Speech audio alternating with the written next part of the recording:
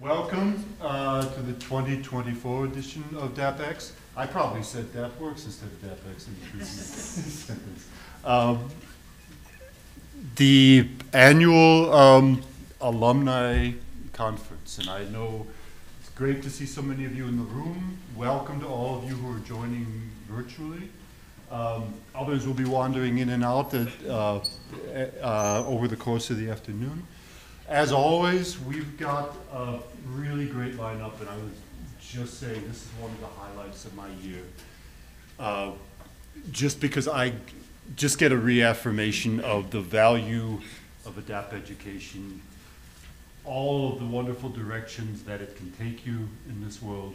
This year, we've got maybe the widest ever spectrum of students in terms of graduating years. I think we got a span of 56 years from the most recent to the, to, uh, to the oldest um, of the presenters today. And also just the diversity of practices. I mean, we've got a range from, you know, really established leaders in the field who are sort of paragons of sustained innovative practice. And on the other hand, we've got the young up and coming creatives that are showing us the possibilities for the future of our really heartened by both of these. I want to thank Al, uh, Ellen and the Alumni Association for again organizing this. I know that a lot of work goes into the, to the preparation and the, and the selection. Um, and I don't want to stand between you and one minute of this. So I will pass to our MC for the day, Brian Trainer.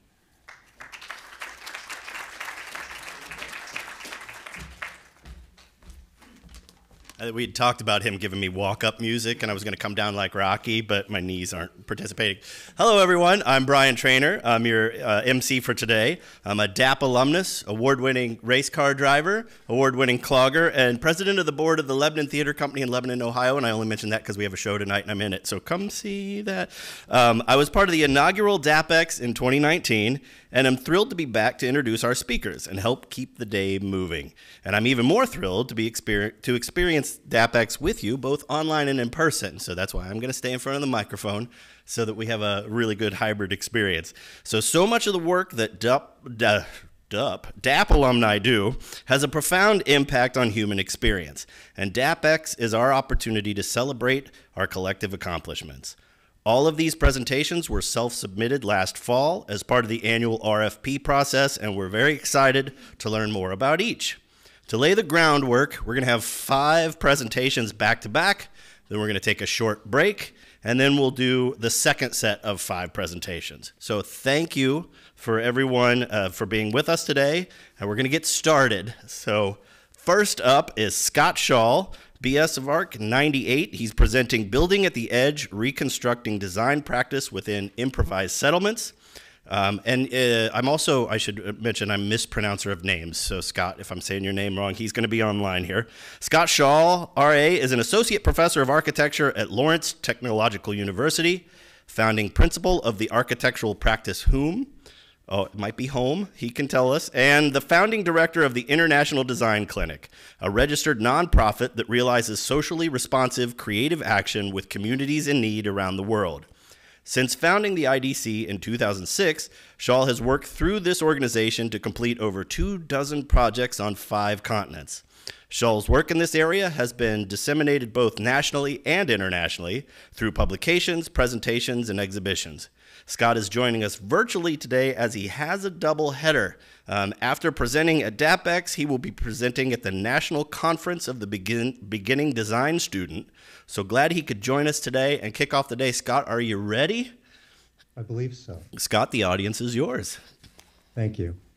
And thank you for the generous introduction. There aren't many pronunciations to be corrected, to be quite honest. Uh, there is perhaps one thing. I recently received word that I've been promoted to full professor, so there's movement from associate professor to full professor, and it is pronounced home.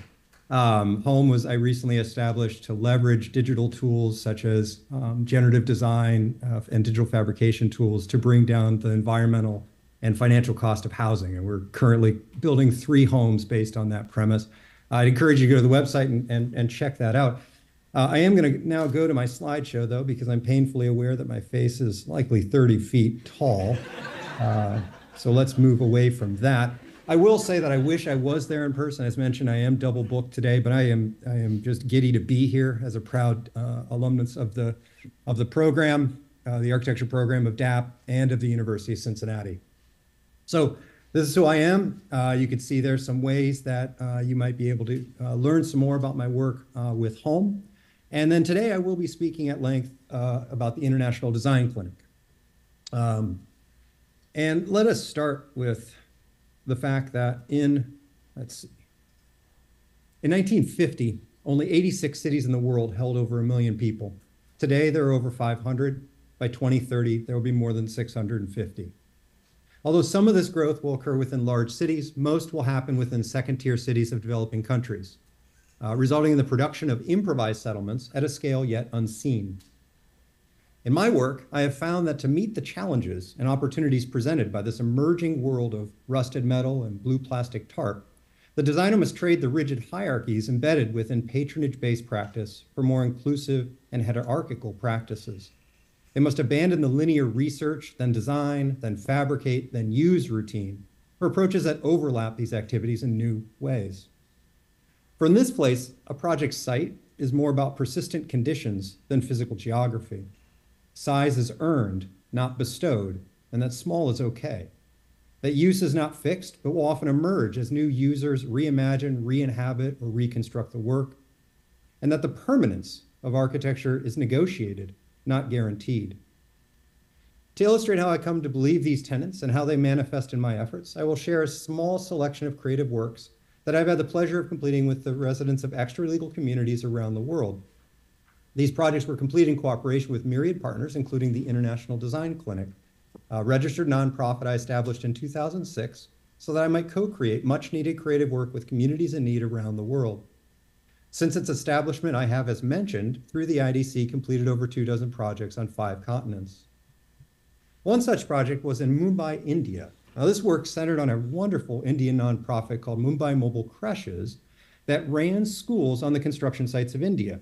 They did so because in India, it's often the practice of construction workers to bring their entire families onto the construction sites during construction. They create these improvised settlements that are surrounding the construction, and then when the condo is finished and wealthier families move in, they are kicked off the site, of course, and moved to the next construction site. The children live on that construction site, creating a distraction for the parents and a danger to themselves and so this group runs, uh, goes to the people running the construction site and says, We'll run a school if you give us space.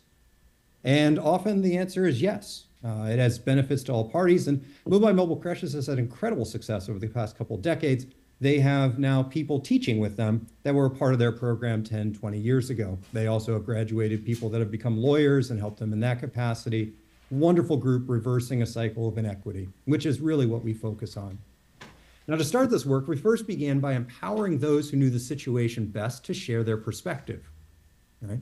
Uh, we, we asked children at the school to draw their school. Uh, we armed them with disposable cameras and asked them to photograph some of their favorite things. We interviewed teachers. We observed the school day. We set up time lapse cameras to document movement patterns, anything we could do to understand daily life within the creche. Now, from this, we came to understand that the most important issues facing these schools, at least to those working within them, had little to do with the architecture, at least as traditionally described. Not architecture as a whole, but more focused on individual aspects. This allowed us to start to create small works to address water based illness, as you can see in the 99 cent water filtration device at the top, or sanitary places for evacuation, or uh, small playscapes uh, that the kids would have jurisdiction over and, and, and create little nooks for reading or sleeping or play, an, an opportunity they didn't have within the borrowed landscape that they normally inhabited. Now, the big lesson of this project is the architectural componentry and effects ran supreme, not the architecture. That it was a mandate for the admission of the impermanence of the architecture itself, something that would actually every two years be knocked down because the families moved off the construction site and the transferability of things like lesson plans, furniture, items, other items of education. In fact, as an architect, it was my job in this project to remove as much of the pressure of the architecture itself that would be demolished and push it to things that could be transferred site to site, things that Mumbai Mobile Creches continues to use. Another such project started as a one-year partnership in Bolivia between the IDC and a group that ran arts-based educational program for kids living on the streets, including a Lustrabota, as you see here, a shoeshine boy. They wanted us to help them expand their programming from their traditional Sunday festivals to something that could impact the kids throughout the week and provide arts-based education throughout the week. Now, to understand how we might approach this, we gathered the perspectives from everyone. We hired Lustrabota to spend the day with us to tell us their stories, how they worked and lived. We used arts activities to understand the lives of the kids attending the events, used time lapses to understand movement patterns once again within the city, uh, charted every instance of marketplace within the city of La Paz. Um, you can see me in the fedora doing exactly that in the corner. Whether it was legal or illegal, it could be someone that just set out a blue plastic tarp and was selling He Man toys, an actual instance or someone that had a shop that was much more permanent. Now, from this, we began to understand that any new architectural or educational program would need to be fit within the rigors of the lives of the children, who did not have time to take a 45 minute bus ride across town to attend school for seven hours and then another bus ride home. They had to work. Their families were depending on it for food. So we started very small with a series of about 20 postcards, each of which offered a simple lesson related to arts programming and education. We subsequently printed thousands of these cards and started to distribute them, letting kids take them at these festivals. We observed which were popular and which the kids didn't actually care about at all, to try to understand what topics within arts based education actually meant the most to the children, and how we could communicate these cards with color versus not color, the content, as these things circulated and the kids started to train them like Pokemon cards. There might be an instance up here somewhere of a card. I didn't put it in here, apologies. We took note. And the things that demanded their attention, the things that they thought were important, we grew. You can see a couple instances here of a card. Uh, there's a picture there of a Lustrabota looking through a little experimental device that began to explain how the eye worked. You could see kids playing drums made with reclaimed PVC a woman looking at something else that was talking about cameras. These were all topics that, through our experiments, became pretty important. The most important one, though, was music, probably deeply embedded within the culture. And this gave birth to very large embodiments, such as you see here, based on the vending carts of the area. Now, these could be installed throughout and were installed throughout the different uh, places of market, places that we had previously mapped where they would open up and the kids would begin to use this to instruct their own lessons, to create games, which allowed our, our partners who worked on an all volunteer army basis to actually allow one volunteer to service three or four of these carts, expanding their reach. Because although volunteers are free, they're incredibly valuable. Now, something that interesting happened, although we focused on this one group, and we were intending to stay there one year, word got out about what we were doing. And so we were approached by another group that uh, ran theater programming in the informal settlement of El Alto on the rim of the city. We, we were approached by a, a, a group that uh, provided opportunities for folks who did handicrafts to market their wares to other countries where they could actually get paid a decent rate for them. A, a group that helped to uh, provide educational in the culinary or educational opportunities in the culinary arts for kids who are working the streets. And as these new partners came to us through the work, the work caused an expansion of our efforts. We ended up staying in Bolivia for five years, continuing to work with these groups, continuing to generate work that still reverberates within the communities.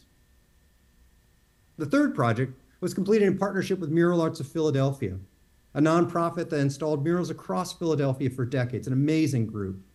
Now, they were interested in the IDC using our unique methodology to help them to build a garden outdoor classroom around a recently completed mural in Bodine High School, which you can see here. Now, we were immediately inspired by the fencing surrounding this school, the black fence you see at the bottom there. The reason we were inspired is this is a public space, this is a public school. But yet the school found it necessary to erect a very large fence around this public space to keep people off the property because previously they were doing activities that the school didn't necessarily approve of.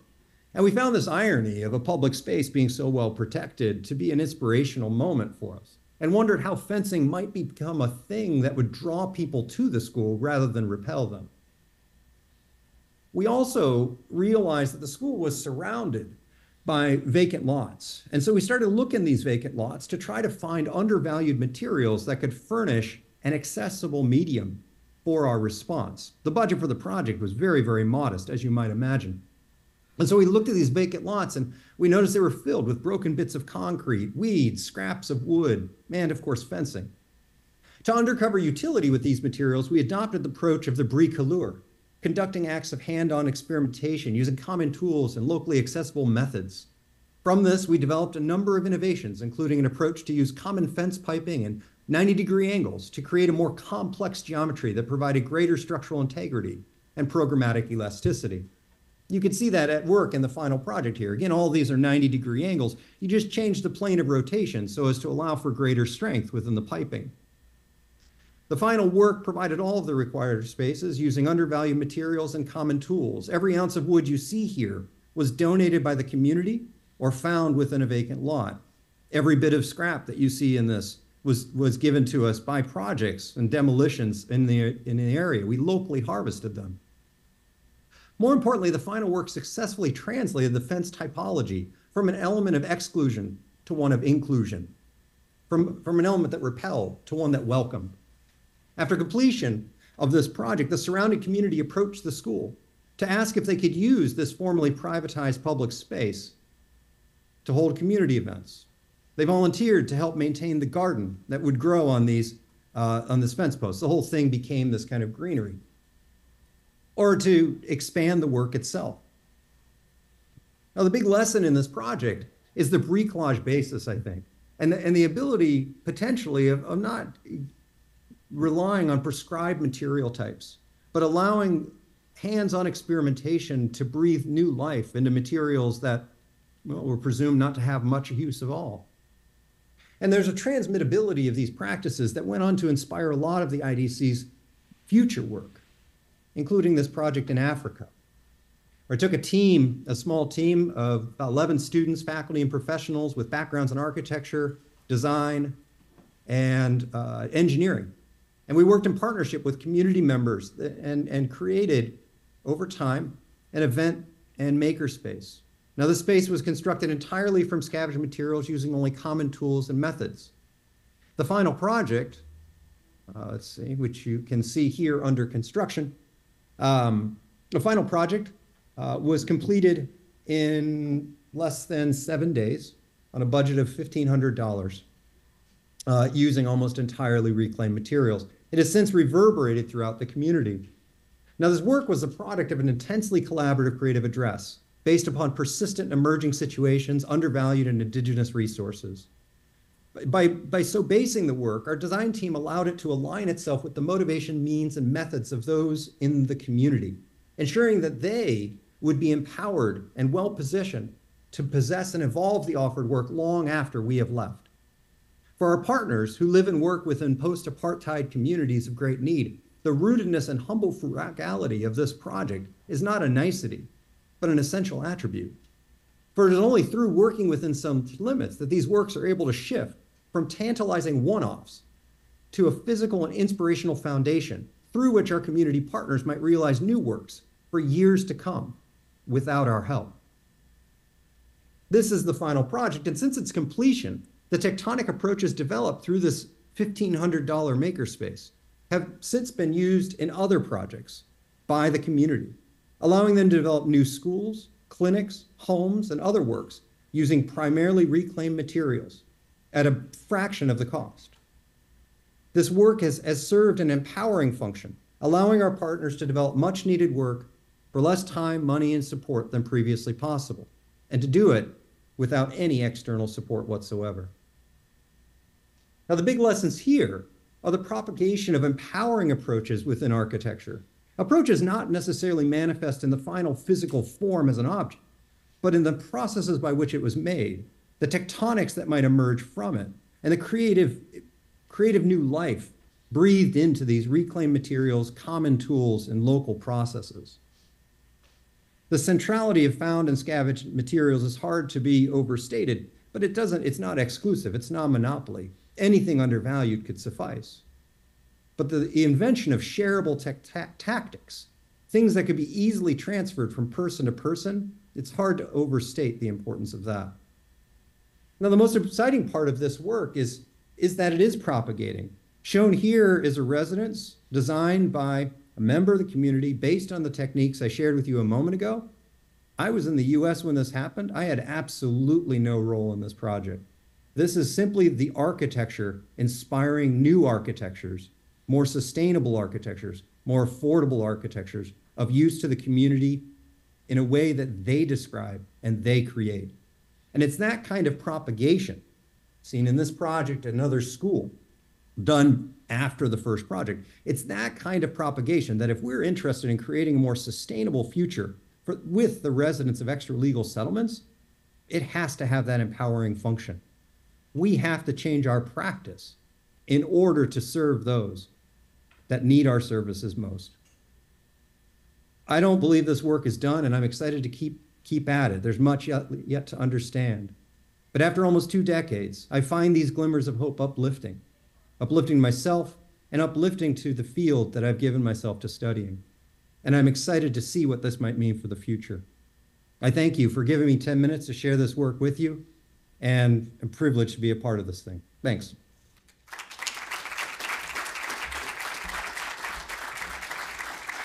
Scott, thank you very much. Uh, good luck with your next presentation. I'm going to give you a catchphrase making the sustainable attainable. You can copyright that because it rhymes. As a consultant, we get to charge more for things that rhymes or anything that starts with the same letter. So there you go. thank you very much. Thank you, Scott. Our next presenter and our first in-person presenter uh, is Kyle Campbell, 2012 MARC. Uh, his presentation is named, I hope it's Mott's HQ. It might be Moats, but I knew some Moatses. Global Company Community Commitment. Kyle is a critical thinker with a thorough understanding of Champlin's design process and is primarily focused on creating spaces for worship and community-based clients that are artful, functioning, and uplifting. A strong believer in the power of story, Kyle strives to understand his clients at a deep level to ensure design reflects their narrative. His dedication to each client and project allows him to enjoy the fact that his work can positively impact countless lives. With his passion for research, Kyle leads Champlin's Research and Innovation Committee and works directly with student co ops to create an engaging place to work. He is also a graduate of the Cincinnati AIA Vision Program and the Cincinnati ArtsWave Boardway Bound Program. In his free time, Kyle coaches his kids' soccer team. He was on the phone trying to find some people for tonight because some people were sick. So if you've got any girls that play soccer, talk to Kyle. Um, serves as the board of directors for the Art Academy of Cincinnati and the Friends of Music Hall. Please welcome Kyle.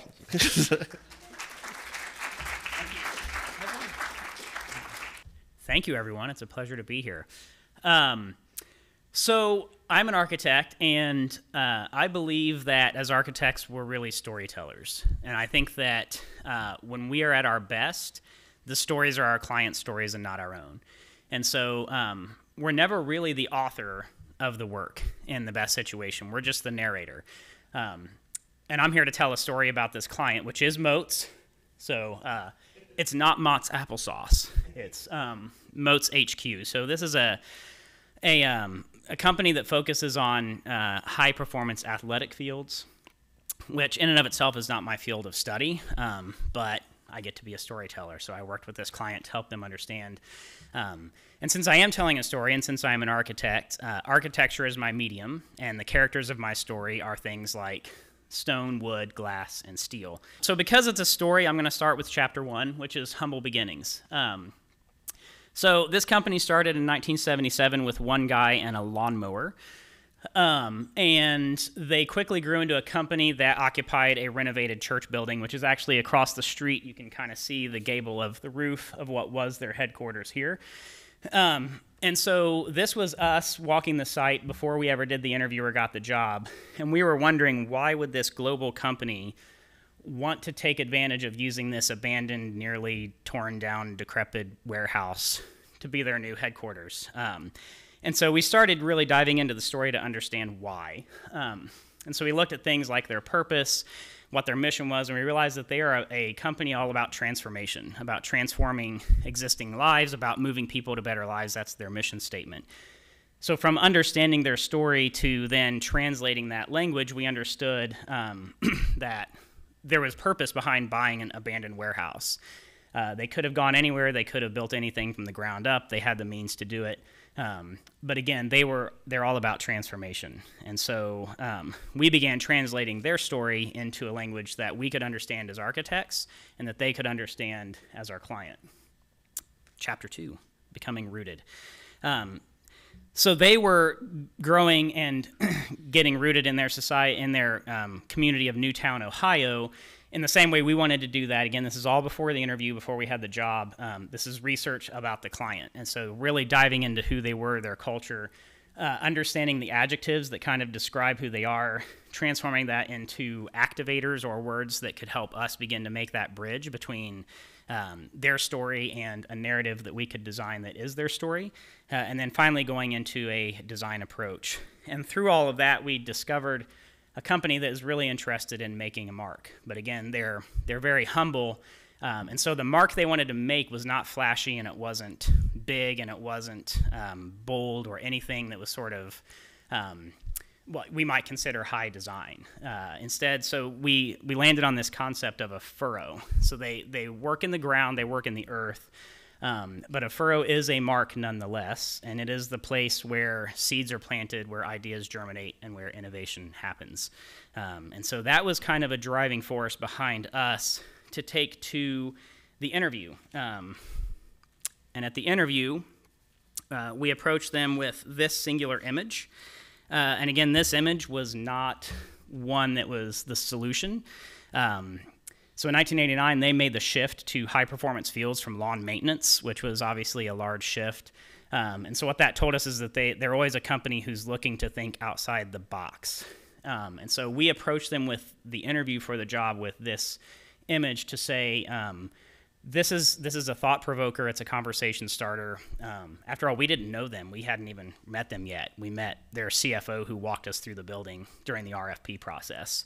Uh, and so when we came to the interview with this as a way to um, just engage in a conversation with them, it was an invitation for them to think bigger about office planning. Um, so they were doing this during COVID when everybody was shut down. That's when they approached us to build a new headquarters, which, as we all know, is a fantastic time to build a new headquarters when everybody is remote. Um, so there was an opportunity to think bigger about office planning to plan bolder and not think about office design in the conventional way, uh, but to look at different opportunities and then finally to organize better. Um, so, about two thirds of their staff are field workers, people that are out building fields and constructing them, but they come back to the office for touch points. And they always, up to that point, had felt like outsiders um, within the company and not necessarily part of the community. And so, we wanted to change that. Uh, moving on to producing fruit, the next chapter of the story. Um, shortly after that switch to high performance fields, uh, they gained global recognition very, very quickly. So uh, they went in 1996. Um, they did the fields for the Atlanta Olympics. They picked up the Bengals, various Super Bowls, um, Sydney 2000, Beijing, and now pretty much any field that you've played on or experienced is likely a Motz field or touched by Motz. And so with this global recognition, um, that fueled their desire to really think differently and bigger about things while remaining humble. This background image looks like every architect's dream. It's just an endless floating plane. Um, but this is the reality of poor construction. So, that abandoned building, when we did structural analysis, um, the CMU walls were not even um, reinforced to the minimum standard. There was no reinforcing at all in the building. Uh, they were crumbling, they were falling apart. But again, um, Joe Motz didn't want to tear out anything that wasn't necessary to tear out. So we were left with steel um, and a roof structure that caused us to think about design differently. Um, for them, materials and, and showing time and how the world evolves around them was very important. And so they wanted to think about how things like wood would weather, uh, how their materials would weather. And so we experimented with different rendering tools that show the timing effects of weathering on their materials and how they show um, a story amongst themselves. It's a very deep building um, with not a lot of natural light. Of course, when it's a floating plane, it is a lot of natural light. Um, but it was going to have walls at some point. And so we did a lot of analysis about sunlight and how we can bring light into their space because, after all, they're a company that works outside. And so, how do you keep people connected to the outside through this process? Um, and then for us, it was an opportunity to do some experimental visualization to help them understand what uh, what is the mood and tone and what do people feel and how do you create feeling and emotion with with um, renderings and storytelling visualization. Chapter five. There aren't 20 chapters. There's only seven, so we're almost done. Um, chapter five is sowing seed. So. as Motz continue to serve their community and really get involved with moving people to better lives, um, they were motivated highly by sustainability. And so in 2009, they created this really big, important shift in sustainability because everybody thinks of artificial turf as essentially terrible for the environment and it's all stuff that gets thrown away and wasted. Um, and so Motz created these two products called environmental or EnviroFill and Safe Shell, which are made from natural materials that can be ground up, reused, and recycled in their next fields at 100% recycled content. Um, and so that kind of innovative thinking and sowing seed about the future um, really drove our design process as well. So as we started working collaboratively with um, specialty contractors in both wood and steel, uh, we discovered that there's working as Motz does with innovative people, you have the opportunity to take things that are mundane, like working construction drawings, and those can end up telling beautiful stories about how things come together. And so these drawings that, that look just as much artistic as they are um, construction documents became part of the construction set and how we start to talk about the story of construction and how things are built uh, in a way that can be beautiful even among the things that are mundane uh, chapter 6, Gathering Harvest. So that brings us to 2021. Um, they earned Evergreen certification, which, if you don't know, look it up. I'm not going to spend a lot of time talking about it, but uh, it is a challenging certification to earn.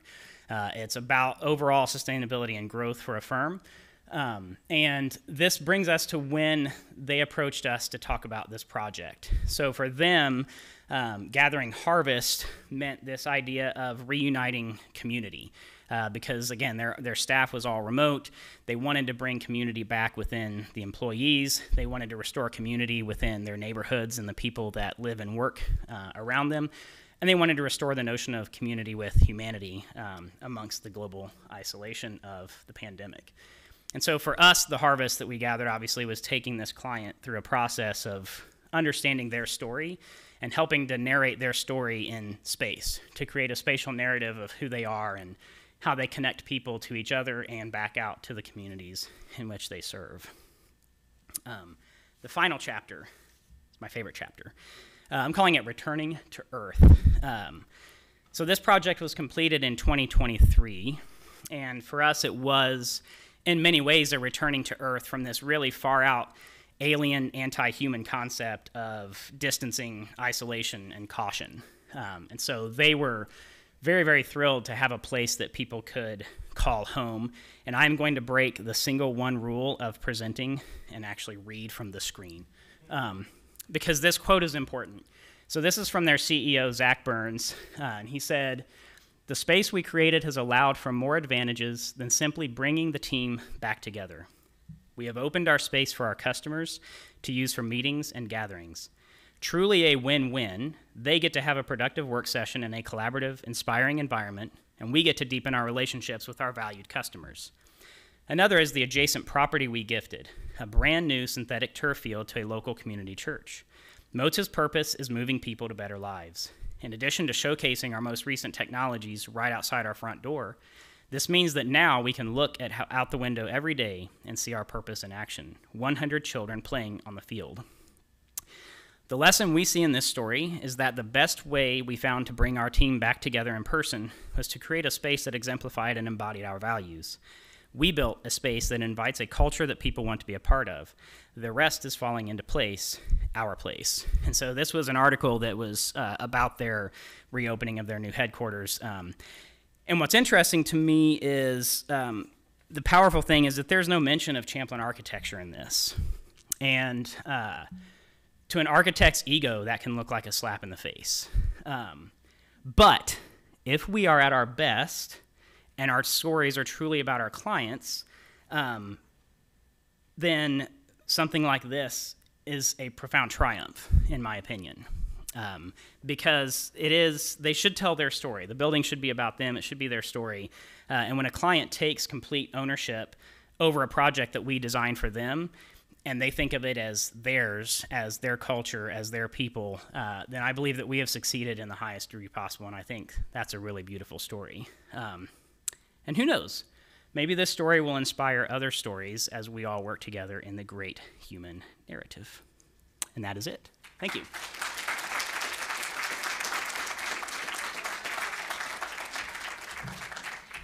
Nice job, Kyle. Thank you. Thank you very much. Still beat 10 minutes. Yeah. As an award-winning race car driver, excellent time. That's right.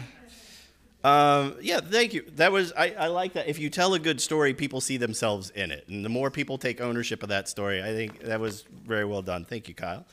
Um, our next presenter, Ron Paul Baum, class of '71, BS Arc, is doing a presentation called "Arts and Crafts Continuum: Emerging Creative Land Use Project."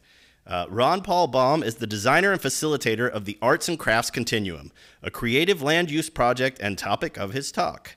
Throughout his career, Ron's work has centered on the intersection of art, activism, and placemaking.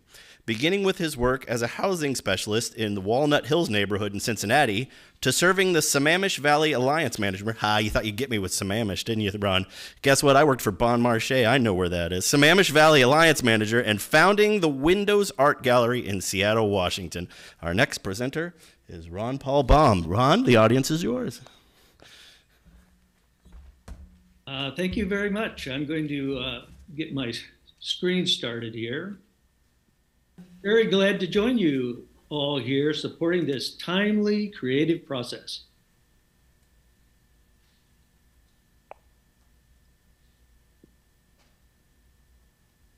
Learning the plight of Industrial Revolution workers, anticipating the plight of artificial intelligence revolution workers. Magnetic blackness brushes by an almost silent critical analysis, interacts and transforms to address deep and wide poverty and war. Objectively abstract modernist woodblock, carefully carved with a very sharp pocket knife under the eye of John Peterson. Seductively subjective postmodernist woodblock, carefully reconsidered as cellular growth at the dawn of a silent spring. William Morris writes and prints a conscientious objection to the plight of Industrial Revolution workers in the heart of the British Empire. We are stardust, we are golden, billion year old carbon, caught in the devil's bargain. Ernst Abbe and Carl Zeiss organized their optical works into the world's first cooperative perpetual purpose trust. Hermann Schneider designs UC cooperative education and influences 1930s Bauhaus.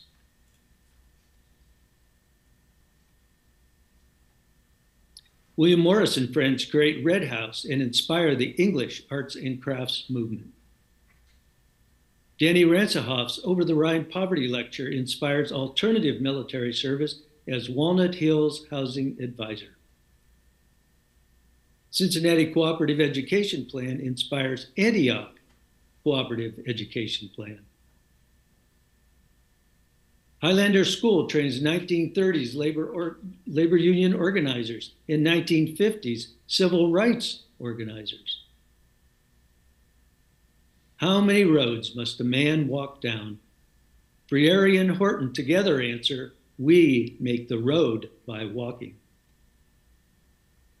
Creatively sharing housing, scrounging meals, living artfully, happily fighting war peacefully. Conscientious objection to militarism and materialism, carefully reconsidered as conscientious, co creative cooperation. Form follows function, paradoxically reconsidered as function follows form.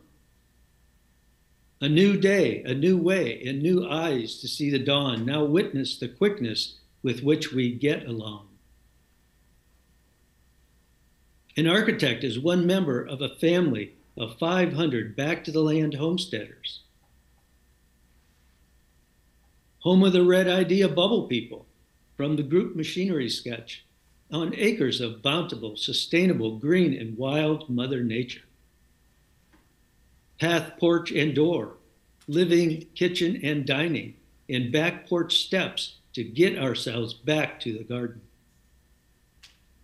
Space capsule home with stadium center stage, surfaced with 500 individual privacy meditation pods facing out into nature. Imagine the creative life of a young apprentice with equitable access to these affordable resources. What conditions would allow art to emerge gracefully, joyfully, dramatically, perpetually? How might an arts and crafts continuum plan work today on debt free land? By adjusting only a very few fundamental economic principles. A perpetual purpose stewardship equitable community emerges from a profitable real estate property rental business, allowing creativity to grow naturally from the quality of life. What are these arts and crafts continuum principles? Prohibit debt. Community property must be perpetually free and clear. Community capital must be retained in perpetuity by prohibiting sale. Recirculate profit, transition from sole proprietorship, maintenance, and improvement to collaborative stewardship encourage equitable trade, affordable fees, and income generations for stewards. Support apprenticeships, stewardships, and creative cooperation. And the beautiful, inspirational outcomes? Without inflationary debt burden, user fees become increasingly attractive. Without sales transaction expenses, the system becomes progressively affordable. Recycled profits to maintenance and improvements make resources more desirable. Diverse gatherings of stewards begin managing and maintaining resources artistically. Cooperative stewardship and apprenticeship opportunities build a positively creative alternative. Stewards sharing and enjoying the advantages of cooperation continue gifting and growing the arts and crafts continuum.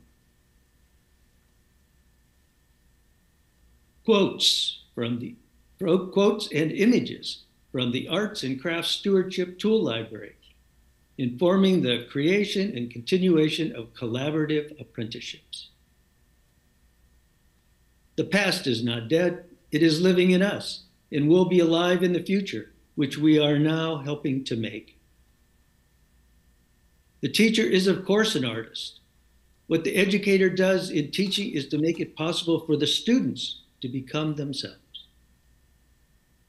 Instead of thinking that you put the pieces together that will add up to a whole, I think you have to start with the premise that they're already together.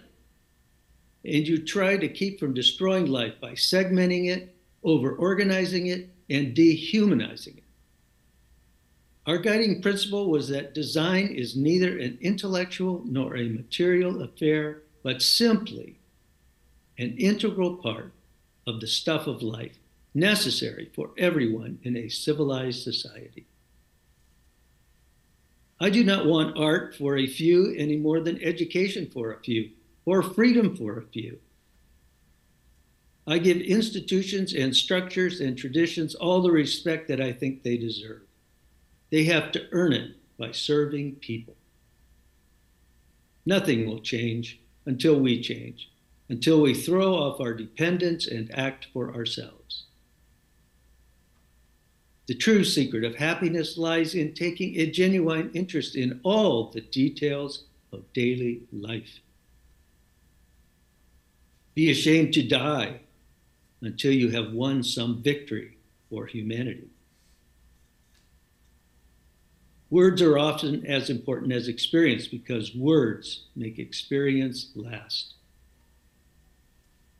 Those who refuse to share their knowledge with other people are making a great mistake because we need it all. Knowledge emerges only through invention and reinvention, through the restless, impatient, continuing, hopeful inquiry. Human beings pursue in the world, with the world, and with each other. Three elements go to make up an idea. First, its intrinsic quality and feeling. Secondly, the energy with which it affects other ideas, an energy which is infinite in the here and nowness of immediate sensation, finite and relative in the recency of the past. And thirdly, the tendency of an idea to bring along other ideas with it. The entire universe is perfused with signs. If it is not composed exclusively of signs, a whole range of possibilities, a continuum. We sincerely need your questions. Please experience windowsart.com as part of a continuing conversation. Thank you very much.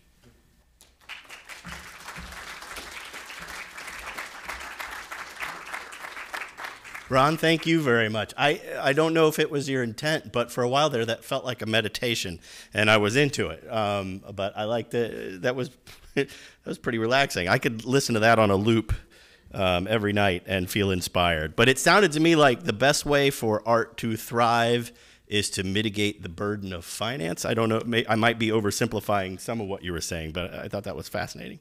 So thank you, Ron Paul. Our next presenter is Joe Walsh, uh, 2015 BSDE, with the presentation Drawing Leads the Way. Joe Walsh is an artist who works in comics, illustration, animation, and design. He recently received an Individual Excellence Award from the Ohio Arts Council for his animation work on Why We Walk, an award winning documentary that is screened at over 25, 25 film festivals worldwide. Some of Joe's past work includes updating the iconic sign for Cincinnati's Shake It Records with eight painted portraits and self publishing two books of drawings 14 Days of Drawing in River Road. Um, Joe is current 14 Days of Drawing and River Road. There we go. Thanks. Um, Joe is currently working on his first comic, The Shifting Ground. Joe is also one half of Take a Moment Studio, an ongoing collaboration with John Flannery of Cryptogram. Uh, Take a Moment Studio creates one of a kind posters by combining screen prints with hand drawn illustration. Please welcome to the stage uh, Joe Walsh.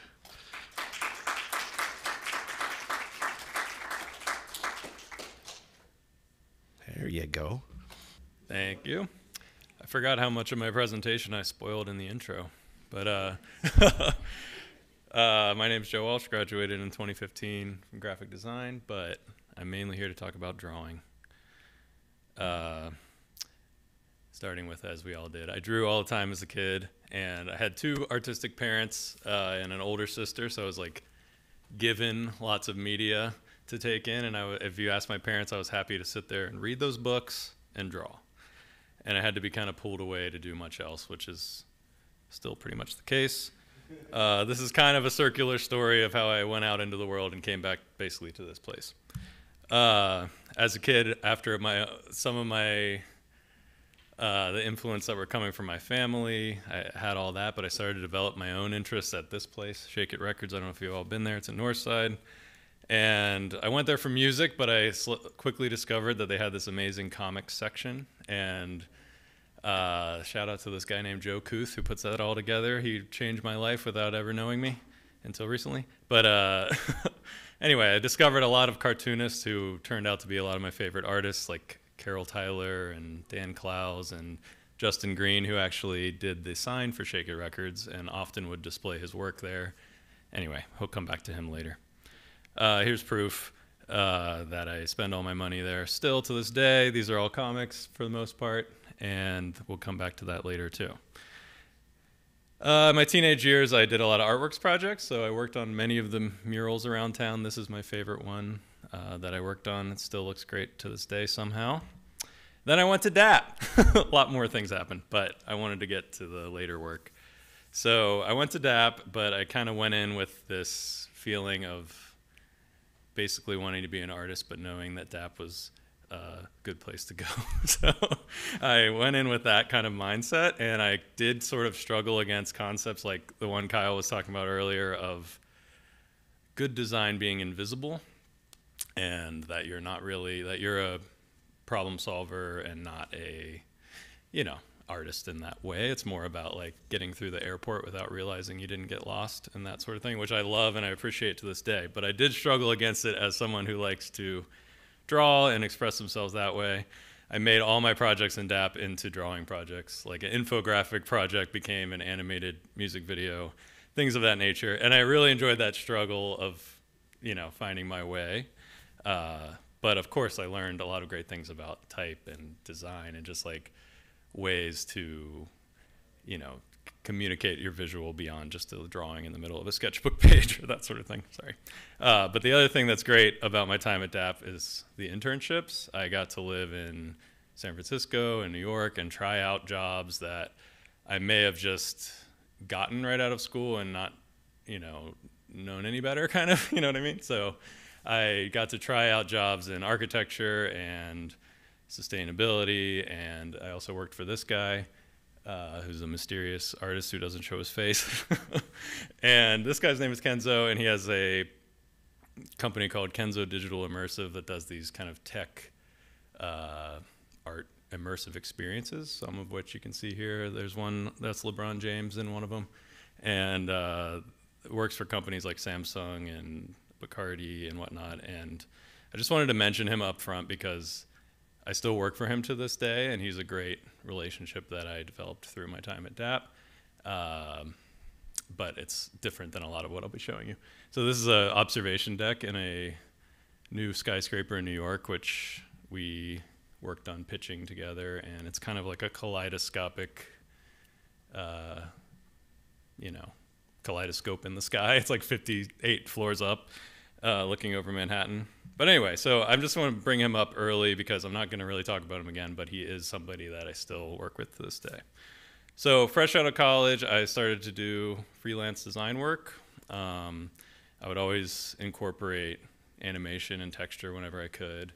And these are just some album covers I did for friends' bands. Um, I did early on in my career, I submitted a design to the 20th anniversary cover of Infinite Jest, which is like my favorite book at the time and a postmodern gigantic classic of over a thousand pages about addiction and media and all this stuff. It's a great book. I'd recommend to anyone, but uh, it was a crazy first project out of school because I submitted and then like six months later they told me I won. But I wanted to bring it up also because it starts my chafing with clients because it shows the thing on the left is what I submitted and won the contest with, and the thing on the right is what was printed after we made a few changes. Uh, but once again, drawing leads the way. We got the drawing maintained, the main central image. I'm still very proud to be a part of the lineage of that book, but it did kind of should have been a red flag. Um, anyway, then I settled into being a freelance designer and illustrator. I took kind of comfort in the term designer as a catch-all that allowed you to do this large range of creative projects under the guise of professionalism and legitimacy that artist doesn't quite give you out in the world. Uh, but as you can see, I still did everything by hand. Um, these are some just examples of projects I enjoyed. Uh, you don't see a lot of fonts working in my work. I also started peddling my wares, so I would, as a creative outlet and as a just kind of different, uh, you know, outlet for my work and for money as well. I started to sell things at craft fairs and art book fairs. I made some hyper specific Cincinnati pins, such as the touchdown Jesus sculpture when it was struck by lightning and the the uh, Camp Washington Salt Dome, things like that. But uh, I got really started to get really into print and that sort of old school version of design, I guess, essentially.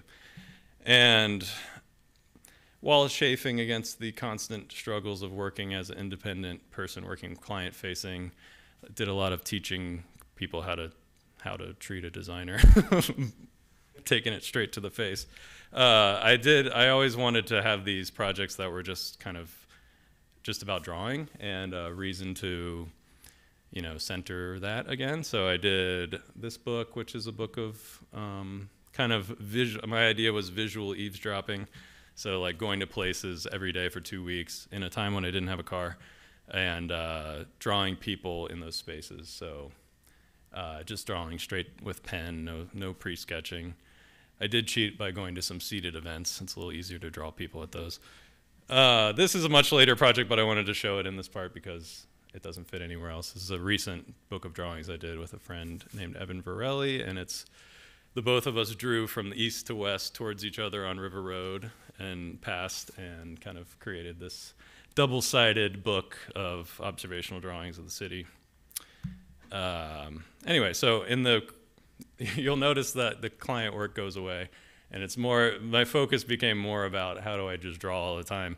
And uh, through that kind of putting that out into the world i met people such as john flannery who can't quite tell how tall he is in this but you can in the next. He's a very tall local screen printer uh, and designer himself and we started a project called take a moment studios which you can kind of see on the right the process it's like a two man collaboration where John does a layer of screen printing through a paper mask so he can cut a new image every time.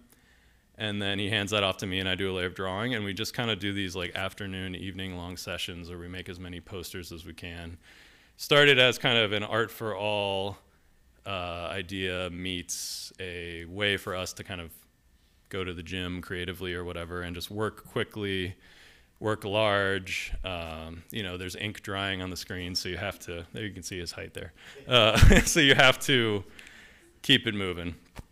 Uh, and we've given out thousands of these posters over the years. At one point, we had a residency at the Contemporary Art Center, which was like a dream because we were there twice a week for four hours each time, and just whoever came out of that elevator was our, you know, collaborators and whatever. And it's, it's, it's something I still do to this day, and I love it. Some of my favorite work. Shout out to John. Okay, so these are just some other examples of illustrations and design work that I'm proud of from this time. Uh, but I'm definitely at this time, we'll say we're at 2018, 2019 at this point. I am like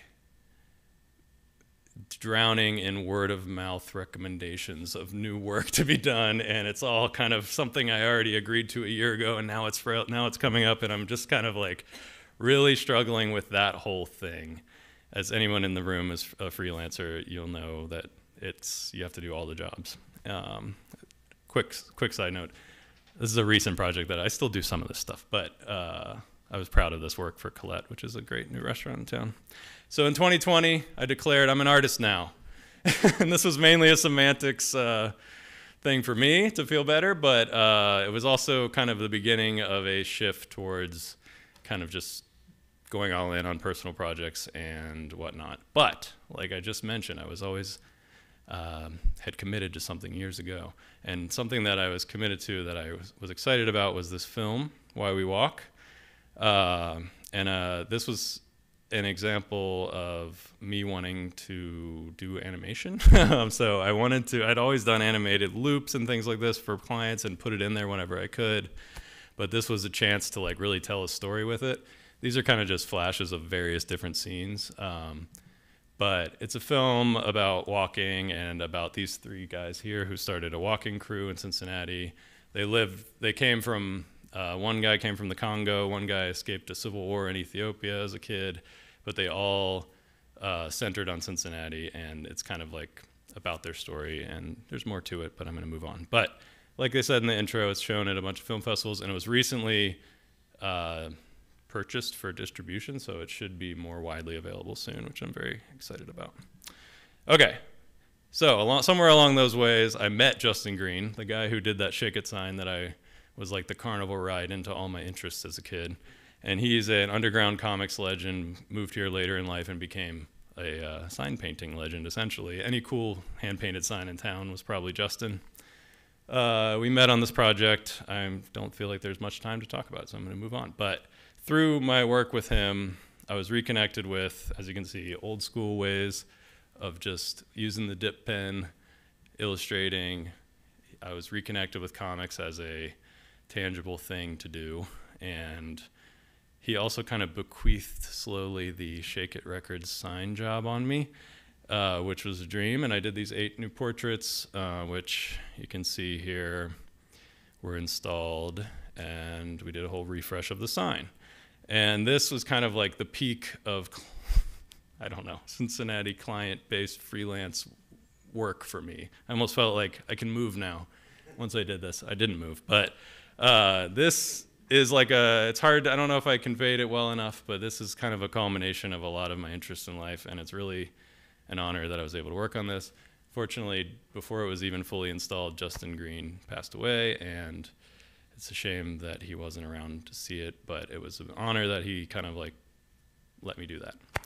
Uh, anyway, so through Shake It, through Justin, through not wanting to do uh, client work as much, I started to work on this project called The Shifting Ground, which is a comic book that I'm currently working on.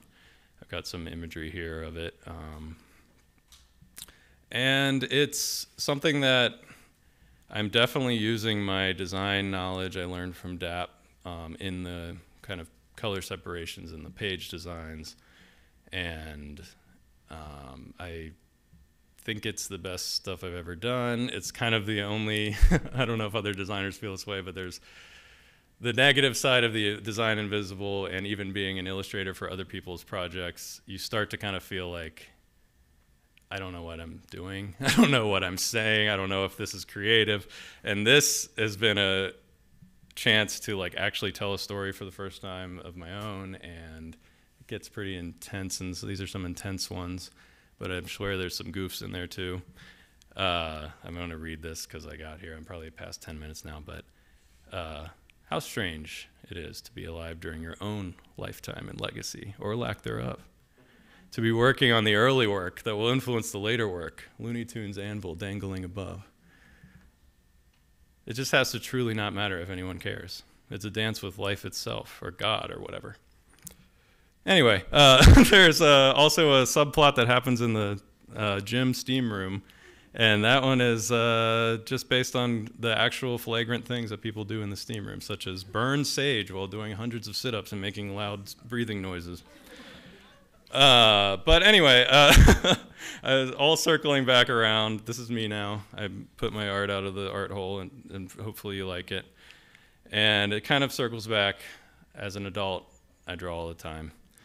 And yeah, thank you.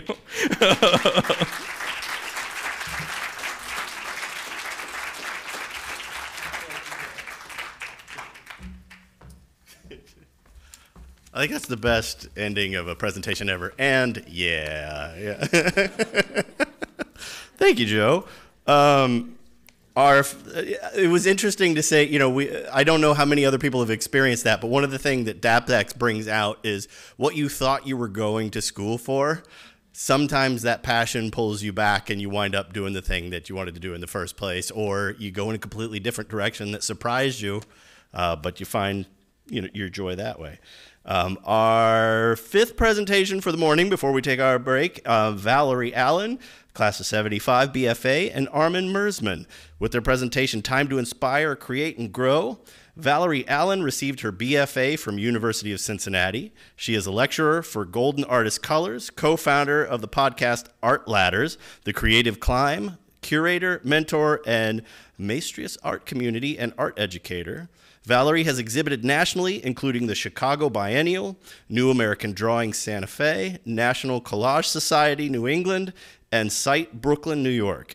In 2022, Valerie received the Great Lakes Bay All Area Artist Award for her role as a visual artist and community leader. Armin Mersmann is well known for his intense naturalistic graphite drawings, but also works in photography and digital art. His artistic interests interests have become more experimental in recent years, with more attention placed on the surfaces of the artwork. He has won major awards throughout the United States. Mersmann is a curator and art educator. He is co-founder of Arts of Art Ladders, the Creative Climb podcast, and mentor for Maestrius Art Community. Please welcome Valerie and Armin.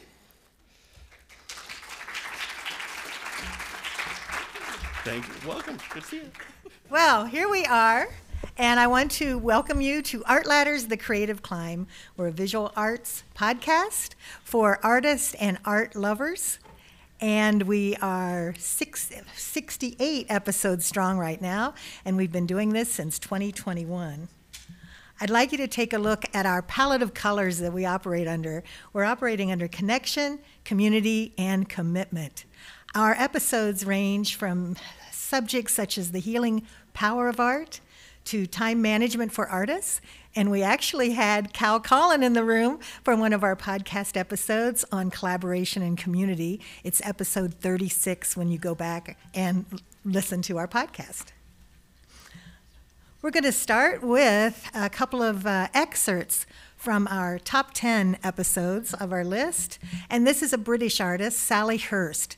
Sally Hirst is a very energetic and very generous artist in explaining her process. She's fair, big on Instagram, lots of followers. And here you're going to hear her talking about her um, process in her art.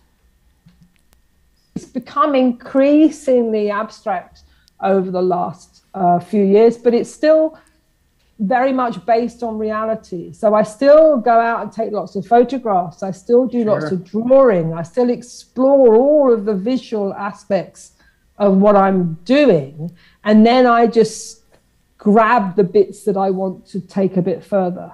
And I do that in lots of ways, either literally grabbing and like zooming in with a small viewfinder on a small area and abstracting and taking away things I find interesting uh, or chopping up and combining mm-hmm. uh, different pieces.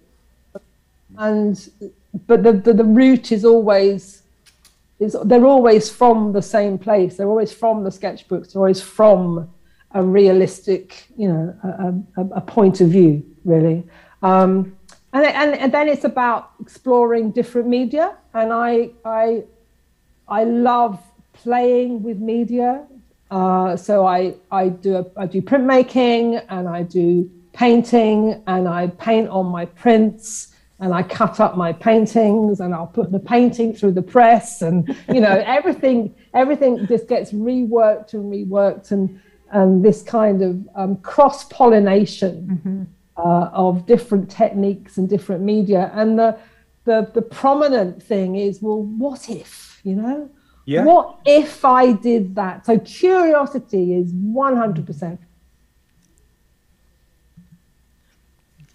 Uh, next, we have uh, a friend, a mentor, and a former teacher, Larry Butcher. He's going to talk about his early years of being an art professor. My painting class had 12 people. By the end of the semester, I only had three. Those three, I sat down and I critiqued them, and I said, I'm going to give you all A's, all three of you, for surviving. But really, only one of you is worth an A. and anyway, they left. And then Charles took me aside and he says, Larry, where are you? I thought, well, maybe this is some kind of Zen question. Where are you? Uh, well, I'm right here. I'm right here right now. He says, That's right. You are at Delta College. You are not at Cranbrook Academy of Art. These are people who are not graduate students. They are students who are coming with varying degrees of abilities and backgrounds, and you need to teach each one of them because they all paid the same amount of money to come and be in your class. That was the huge whack in the face of who I needed to be as a teacher. Mm-hmm. Um, and so, what really changed for me was um, know your students. So I would do lessons that they would reveal themselves in, and then I would use them to pry more out of them. Uh-huh. And over the years of teaching, I decided the best I could say I am is that I'm a gatekeeper, a gateway to their new artistic life. Mm-hmm. And I can give them every tool possible for them to know themselves so they can walk through that gate and be, them, be themselves and that if I do the fundamentals right, it's community college. If I lay the foundation right, they can build anything they want.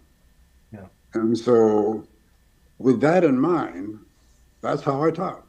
And I knew that they went out of there with as many, depending on their own abilities, but if they would do the lessons and involve themselves in that community that would happen with my, my classes, because that mattered that I could build a community where they mm-hmm. knew each other because they would critique each other, because they would share materials with each other, or they would all be comrades in a common struggle of a tough lesson.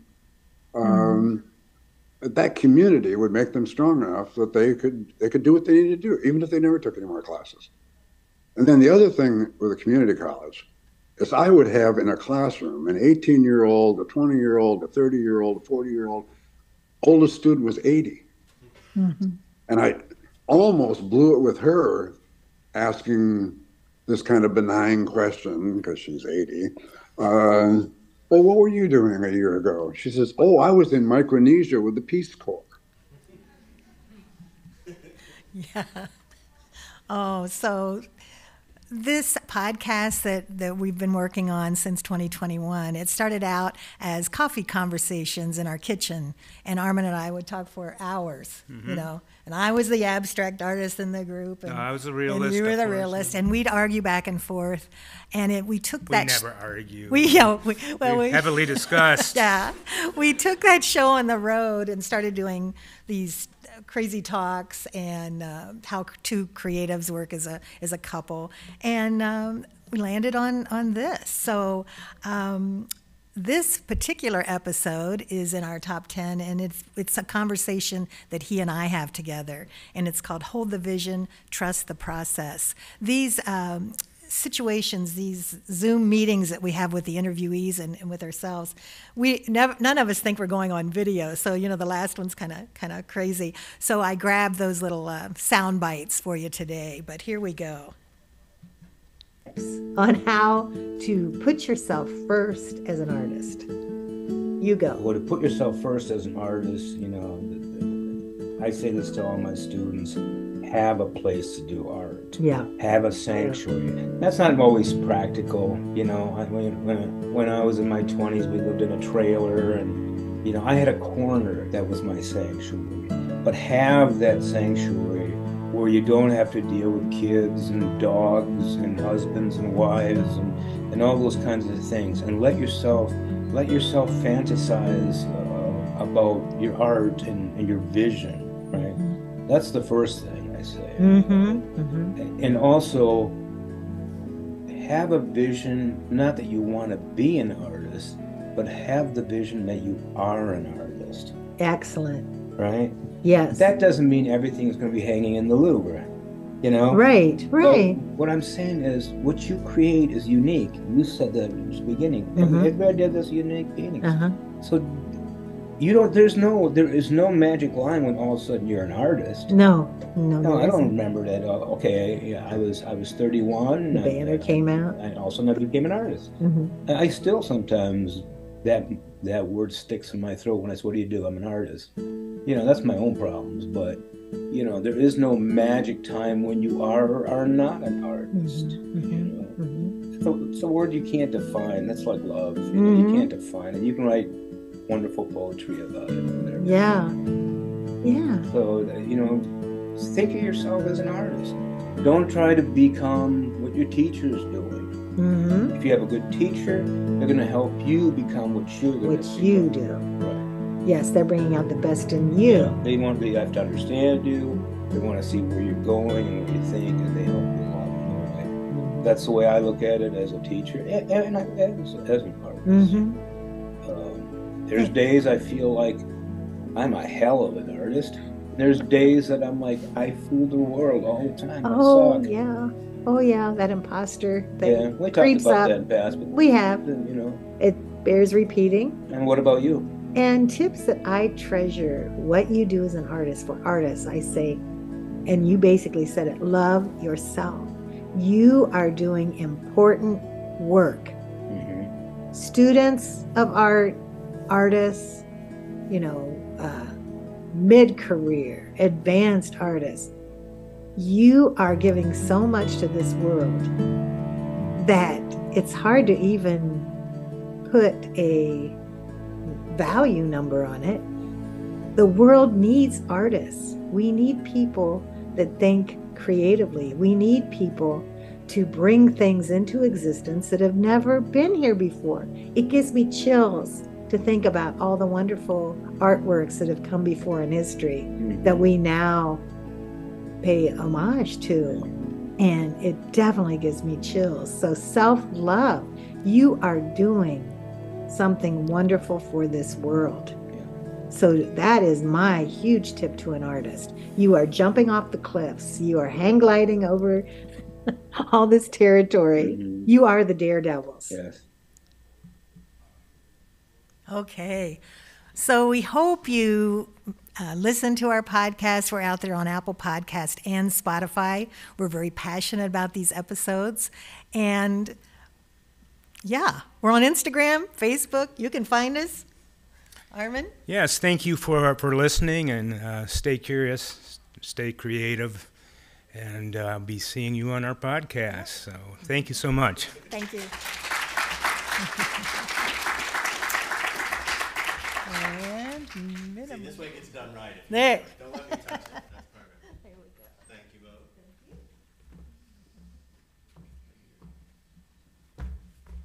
Thank you, Valerie and Armin. I don't know if um, Joe had listened to your podcast before, but he already thinks of himself as an artist. I, th- I like how those linked up. Um, our next presenter is virtual presenter. Uh, we're going to welcome Hal Apple, uh, class of 82, BSDE. With his. I'm so curious about this. The title of his presentation is called "Women Seriously." Um, Hal Apple is an expert in branding, design, and improving workflow experiences. He ran a successful design practice before working at Disney, Amgen, and other companies where he partnered with, college, uh, with colleagues in around 50 countries. He is a caregiver for his wife's uh, hyphen physician and edits, designs, and publishes the books she authors. And, as you will learn from his talk, is inspired by her work. Outside of his professional life, Hal enjoys growing lemon trees, volunteering, studying, writing, and nurturing close friendships.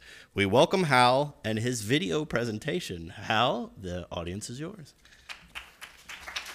Hi. Welcome, everyone, and thanks, Brian. Yes, my presentation is entirely by video, so it's going to be on time, and it's provocative, hopefully. So I welcome further conversation. If any of you would like to talk to me about the presentation, the best way is to reach me through LinkedIn. So Dan, you want to go ahead and run the video? Women. Seriously? Hi, I'm Hal Apple. I grew up in Columbus, Indiana, influenced by branding from Paul Rand, architects like Edward Larrabee Barnes, I.M. Pei, Harry Weese, sculpture by Henry Moore, and protection by Fire Station Number 4, thanks to Robert Venturi. Me and my small hometown were influenced by dozens of architects and artists over a period of 40 years, and none of the commissions ever went to women's. I studied design at the University of Cincinnati.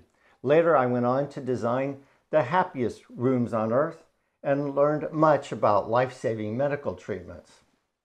Recently, I designed a book, Forgive to Live, written by my doctor and my wife. Medical school taught doctors about human anatomy and physiology by using a male body as the standard and norm. Entire organ systems studied primarily by referencing the male body. The female body was introduced as having the different reproduction system, as if women have aberrant organs. This book changed my life, unlike most of our projects where we hope that they might influence others. How do we measure success? Is it by A, how many awards did we win? B, the design brief was fulfilled? C, the project was on time and on budget? Or is it D, nobody died from a result of the project? Except that women are much more likely to die in a car crash than men. In fact, all crash test dummies used by the DOT up until 2012 were based on the male physique. And then they introduced a 4 foot 11 inch female crash test dummy. That's the fifth percentile of all women. As my dad would say, that's a Mickey Mouse idea. Good idea. Let's try testing with Mickey.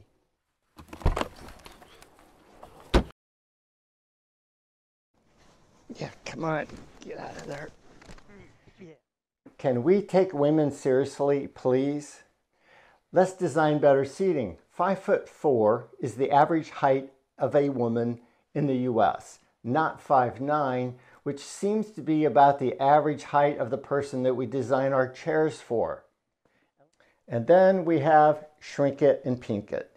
It's a common design solution described by the author of Invisible Woman and by Karen Corellis Ruther, a designer, former Nike executive, and Harvard Fellow.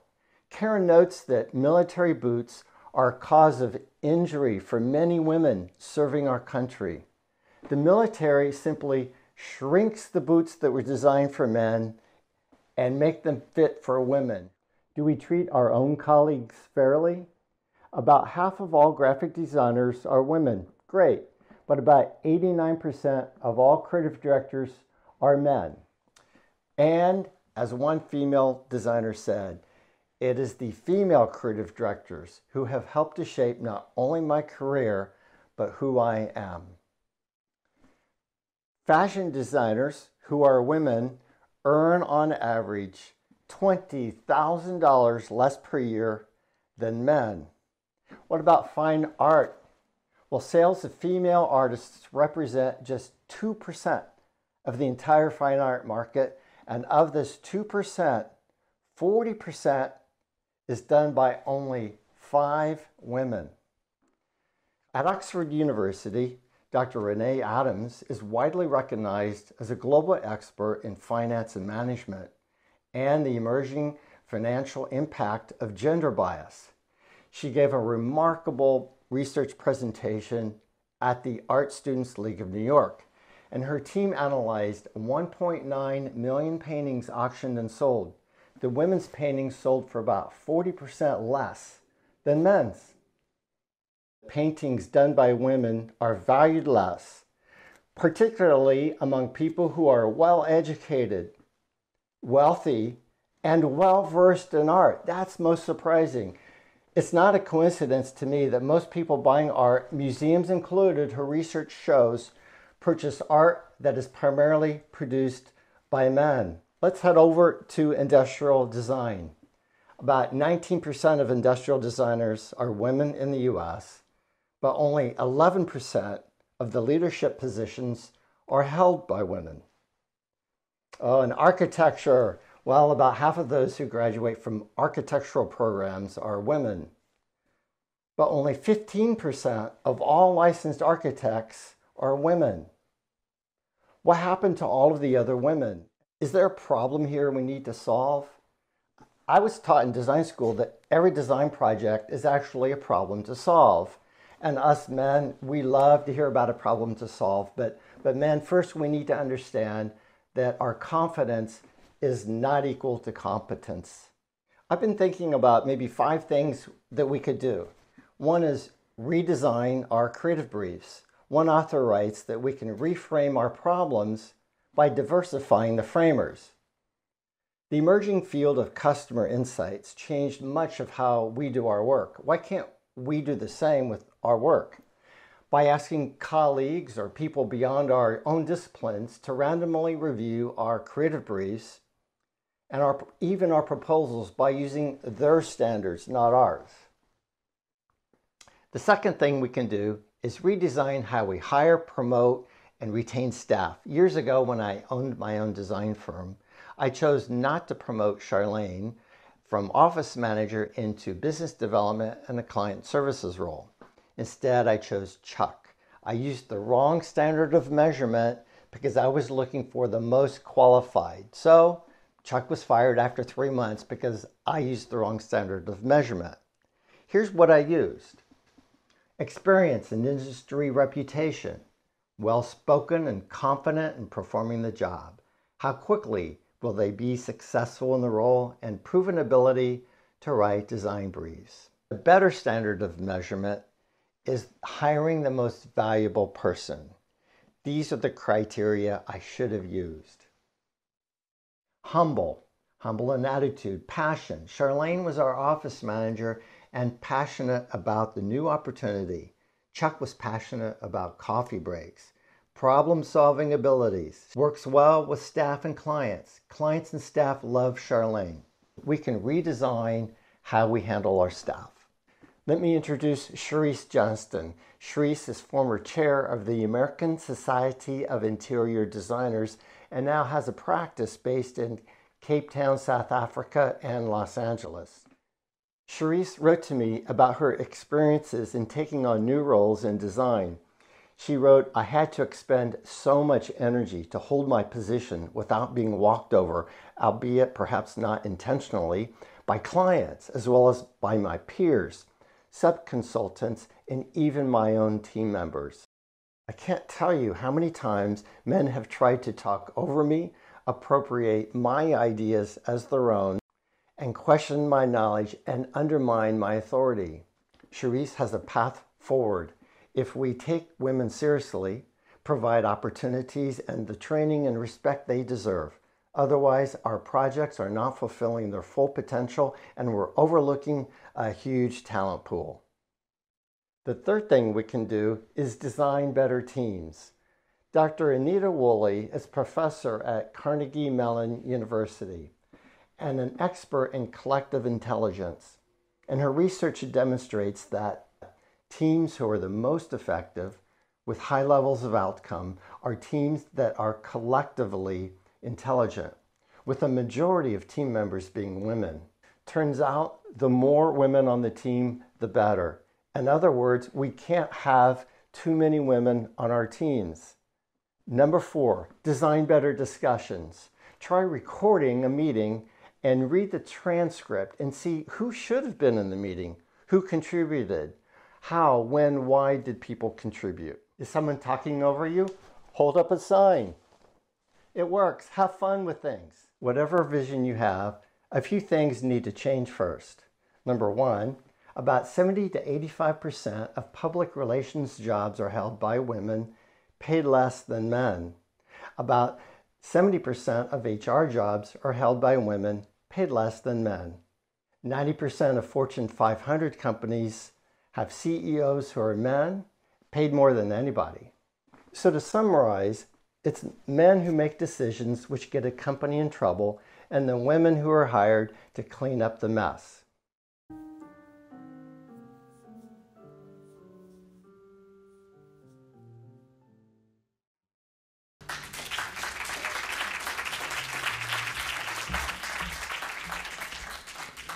Hal, thank you very much for that. Don't know if you're still there, but um, yeah, when I saw the title "Women Seriously," I was like, "This could go one of two ways."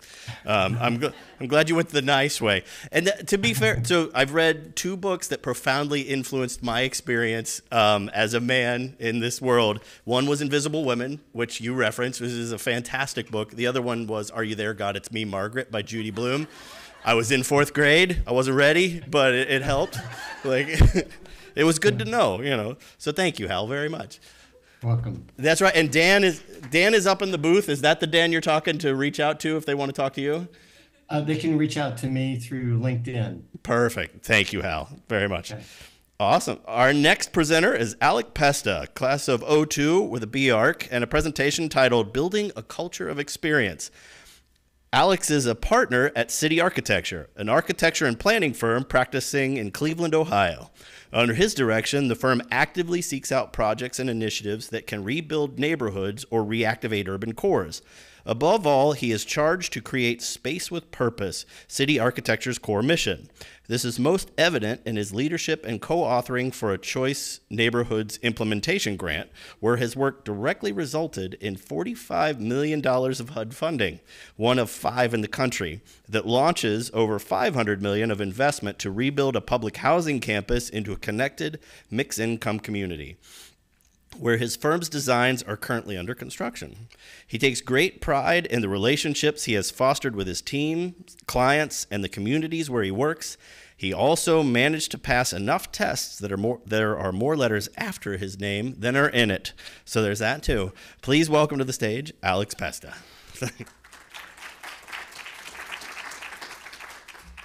welcome. I, I don't want to eat up too much into my 10 minutes. I'm a little bit into my feelings today. Um, so if I get a little bit emotional, please bear with me. Um, my morning started off sitting in the back of an orientation and uh, UC tour with my daughter. Um, and so it's very trippy to be here, kind of where it all started. sharing that experience with Sophia and having her in the audience today. So, um, above and all, above and beyond all, I'm a dad and a husband. All right, so I want to just kind of put that out there. Um, I'm going to talk a little bit about uh, our work at City Architecture, our work in our communities, and with the folks that we are pleasurable to do uh, that work with. Um, history is very much part of our culture. It is very much part of our architectural firm. However, I don't want to spend too much time talking about the history. I want to talk more about what we're doing right now and kind of where we are headed. Um, and I want to kind of plant that seed of where we are headed and kind of showing that through uh, how that has evolved over the time. One of the things that I share with my team uh, very often is that windshields are bigger than rearview mirrors. And I really believe that there is a reason for that. I am also an aspiring race car driver. Um, I need to talk to you. Um, uh, but uh, there are a reason that that is. So, uh, kind of talking about where we've been, uh, where we are today, and where we're going. And just to cut to it, where we want to go is we want to change the narrative around what it means to practice uh, planning and architecture. Um, and we want to be the firm of choice uh, when folks think about where they want to work, when clients think about who they want to work with, when communities are looking for help. We want us to be on the top of their list. So um, I also uh, kind of take you back a little bit. Uh, when I was in fifth grade, when I was nine years old, I told my uh, fifth grade teacher that I was going to be an architect. Um, maybe because I had a slight crush on Mrs. Malone, but I really wanted to be an architect. Um, and so this really started this journey about uh, kind of who I was and what I was going to be. Um, I came to DAAP, uh, met my lovely wife here, who is one of those 15% registered architects. So shout out to Tara, she did it all. Um, uh, and really fell in love with place through my experience uh, that was kind of afforded me through DAAP, uh, through a travel quarter, and really got to see how people connect with place. And really how that really was more important to me than what the thing looked like. And it really started this lifelong journey on designing for experience. Um, from there, oops, from there, um, uh, I was honored, uh, I was uh, asked, I was threatened uh, to become a partner at City Architecture uh, when the firm was 25 years old. Um, I was not 25 at that time. I am 25 in this picture. I have only worked at City Architecture my entire career. Um, and I'm standing uh, next to what would be one of my partners many, many years past the time that this photograph was taken. And I share that with you because at 25, I think as all designers, we think we know what we're going to do. We have an idea of what a career path is going to be. We have the idea of the type of work that we're going to do. And it all changes. And we have to approach it that way and understand that way. And in many ways, City Architecture was experiencing that as a 25 year old firm. We were moving from a sole proprietorship, who was the founding partner, also a DAAP alum, um, who was an amazing mentor to me. But the, the, the culture within the company was one way, it was a singular way. And we were put in a position and we were given the opportunity to kind of swing that pendulum from my way to our way. And it was really fulfilling to work on the recalibration of how the firm does work in real time. So that collaboration, the fact that we were working together, we got to test what our way was in real time with real projects. Um, Brian mentioned the, the create space with purpose. This became our rallying cry. This is what we do every single day. This is what gets me out of bed. Um, our office is very collaborative in nature. It's one big open space. You'll see on the conference room door, um, it's one of our uh, core values, which is connect. Uh, those conference rooms are open to the public. This is a neighborhood group that uses our office uh, as a home base to have merchant meetings, resident meetings. This is a street captain's meeting uh, with our work in the partnership with the folks that live in Woodhill. It was very important for us to pull back the curtain on what it means to be an architect or a planner. Because the folks that we are lucky to work with, especially the youth when we have youth engagement uh, outreach, a lot of those folks don't know what architecture is. I was blessed at nine years old to know what that was, and our, I think part of our calling is to introduce that. So I'm going to go very quickly through some of our work, kind of reframing it back to that create space with purpose. Um, so obviously we create uh, the creation of space. This was uh, this is in Sandusky, Ohio. Uh, this is, was a 274 uh, car uh, parking lot that was on the water for all of you waterfront parking enthusiasts in the room. Um, this was there. I thought that it was going to be a really fun project and kind of easy to kind of move through the public space. However, I found out that people really do love to park in Sandusky, and I think we met all of the parking enthusiasts that live in the city of Sandusky. Um, the other thing that happens when um, folks at my firm is we kind of practice with a little bit of a chip on our shoulder. So if we hear, hey, that's a bad idea, um, we're going to push back a little bit to understand why folks think that it's a bad idea. And what we kind of got to with Jackson Street Pier in Sandusky is it was a fear of change, and it was a fear of losing something that folks kind of identified as their own. And what we recognized is that the more conversations that we had in the public space, the better the design got, the better the outcome came. And a beautiful moment for us was when we presented the final design to the review board, folks showed up with t shirts that were printed to support the initiative. And it was really meaningful to see that the initiative became more than the design, it became more than the thing, it became something that could galvanize the community. Folks were talking to each other about that thing but then they were also meeting about, hey, what do you love about Sandusky? What brought you here? What do you do for business? Who are your kids? How do we know each other? Um, and yes, the space is fantastic. So it did get built, by the way. Uh, it did win a, a handful of awards, um, including a great place in the state of Ohio through the American Planning Association. Um, and it is programmed very often. And in all of our, our materials that we share, we don't we're not the typical architecture firm that shows a photograph of the space with nobody in it because who gives a shit? That's not how spaces are meant to be used. Um, so uh, yes this works. Um, all of those things aside this is the best part of this work for me and our team is that folks go to jackson street pier they share an experience. They might run into somebody that they haven't seen in years or they might meet somebody that they had no idea existed on the planet and that is really, really fulfilling as a practitioner to think that the folks in this photograph didn't know that the other ones existed before they shared that experience on the pier. Um, space, um, what I will tell you this, I don't want to unpack this one too much, is that space, I think uh, DAAP, uh, most design schools do a phenomenal job of having to design or helping us figure out how to design physical space. Our jobs as leaders is to find where the metaphorical spaces are and create that it's they're as important, if not more important. Um, find which voices are typically uh, excluded from process. Uh, identify the voices that might need help amplifying, and be part of that ally. Be part of that room. That's what we do uh, every single day.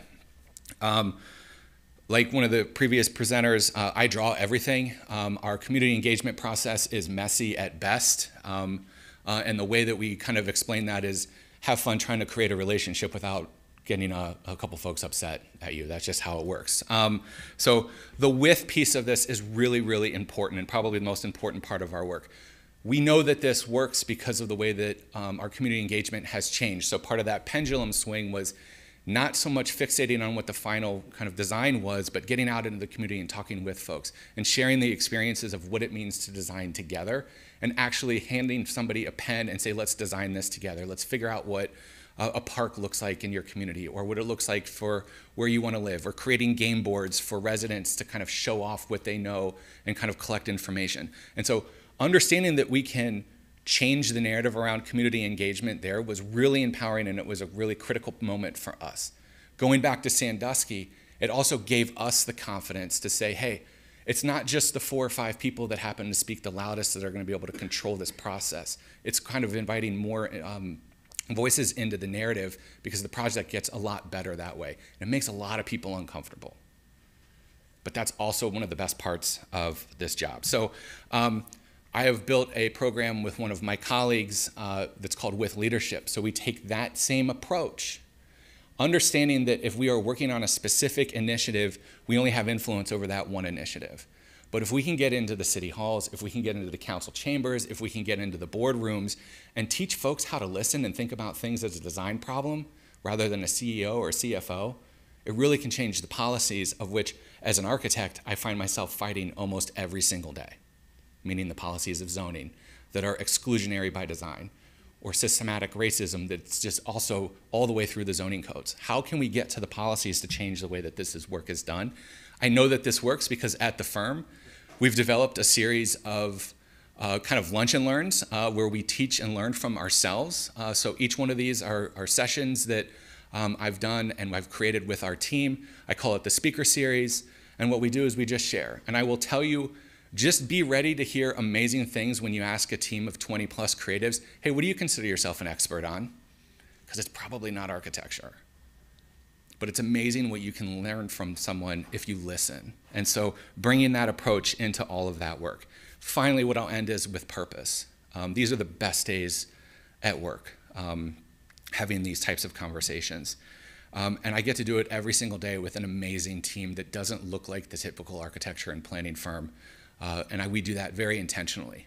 Um, these folks are uh, allies for the neighborhoods in which we work with. Um, they are advocates and executioners of absolutely fantastic design.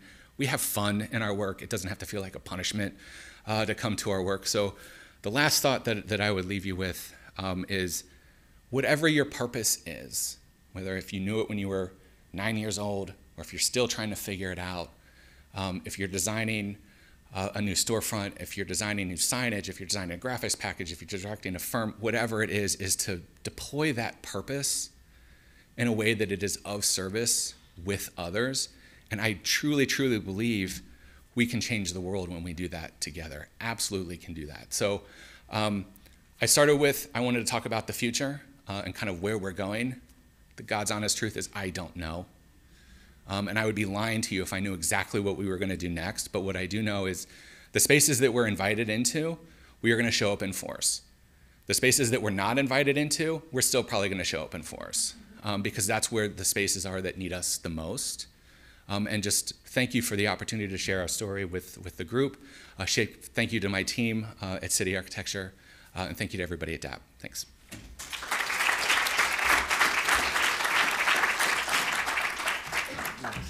Thank you. Thank you, Alex. I'll do that. I can't believe you swear in front of your kid. No. the. yeah. Sorry, that was a joke. Thank you for that, Alex. Yeah, uh, I'm going to find you later. We're going to talk race cars. Um, but yeah, there was, whew, that was inspirational. Uh, our next speaker was the first person I met coming in today, uh, Matthew Spalletti. He's our uh, class of 23. So when uh, we were talking about the range from before, this is last year. There you go, with his BSDE. His uh, presentation is entitled Empathizing with Apathy. Uh, Matthew Spalletti is a recent DAAP alumni graduating in 2023 with a BS in Communication Design. Be it through annual charity events like Swag Fest, you got me, I'm hooked already, safety awareness campaigns like Show Tools, or helping marginalized groups at UC through his work on identity inclusion with Lisa Barlow, Matthew is constantly looking for ways to improve the community around him through design. Please welcome to the stage, Matthew Spalletti.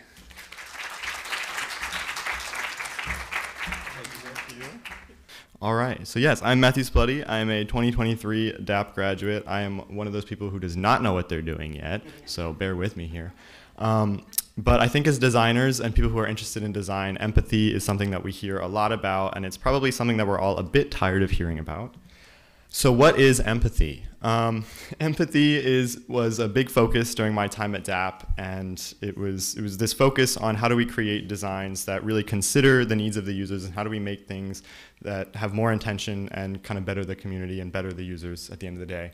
It's kind of why it's called communication design now and not graphic design, and why I still have to tell my dad that I'm not a communications major because anyone can open up um, these programs, but not everyone can sit through 10 rounds of user testing.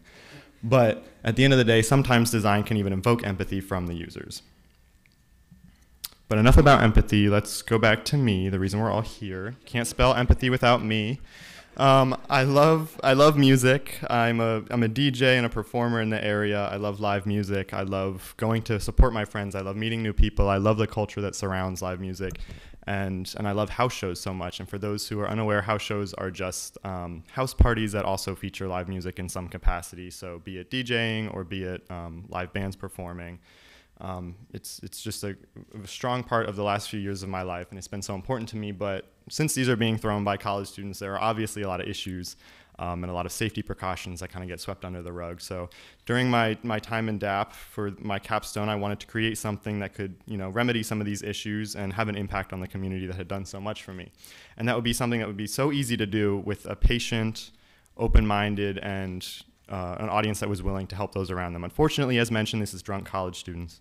So they are notoriously annoyed, pretty apathetic, and have the mental capacity of a five year old. Um, luckily for me, though, I was working with the people hosting house shows, so it's a bit different. They're just kind of lazy, a little bit less apathetic because it is their house at the end of the day, so they don't want it getting trashed. Um, but they are still um, drunk. Um, so, but luckily they are invincible. They will never have any problems, and they will never die. So, so I had that going for me. But someone, someone at their house will have a problem eventually, and so I needed to think about, okay, how do we design something for these people? I have no idea. I don't know. Usually, when you're designing something, it's with the intent of people wanting to use the design, or you're designing something in a way where they will be intentionally using it in some capacity. But this was not the case. Fortunately for me, though, this was a project that I chose because I was well immersed in the community, and these were people that I cared about, people that were smarter than me, people that had been doing this for a lot longer. So I went to them and I asked them, "How how can I help you? What can I do for you?"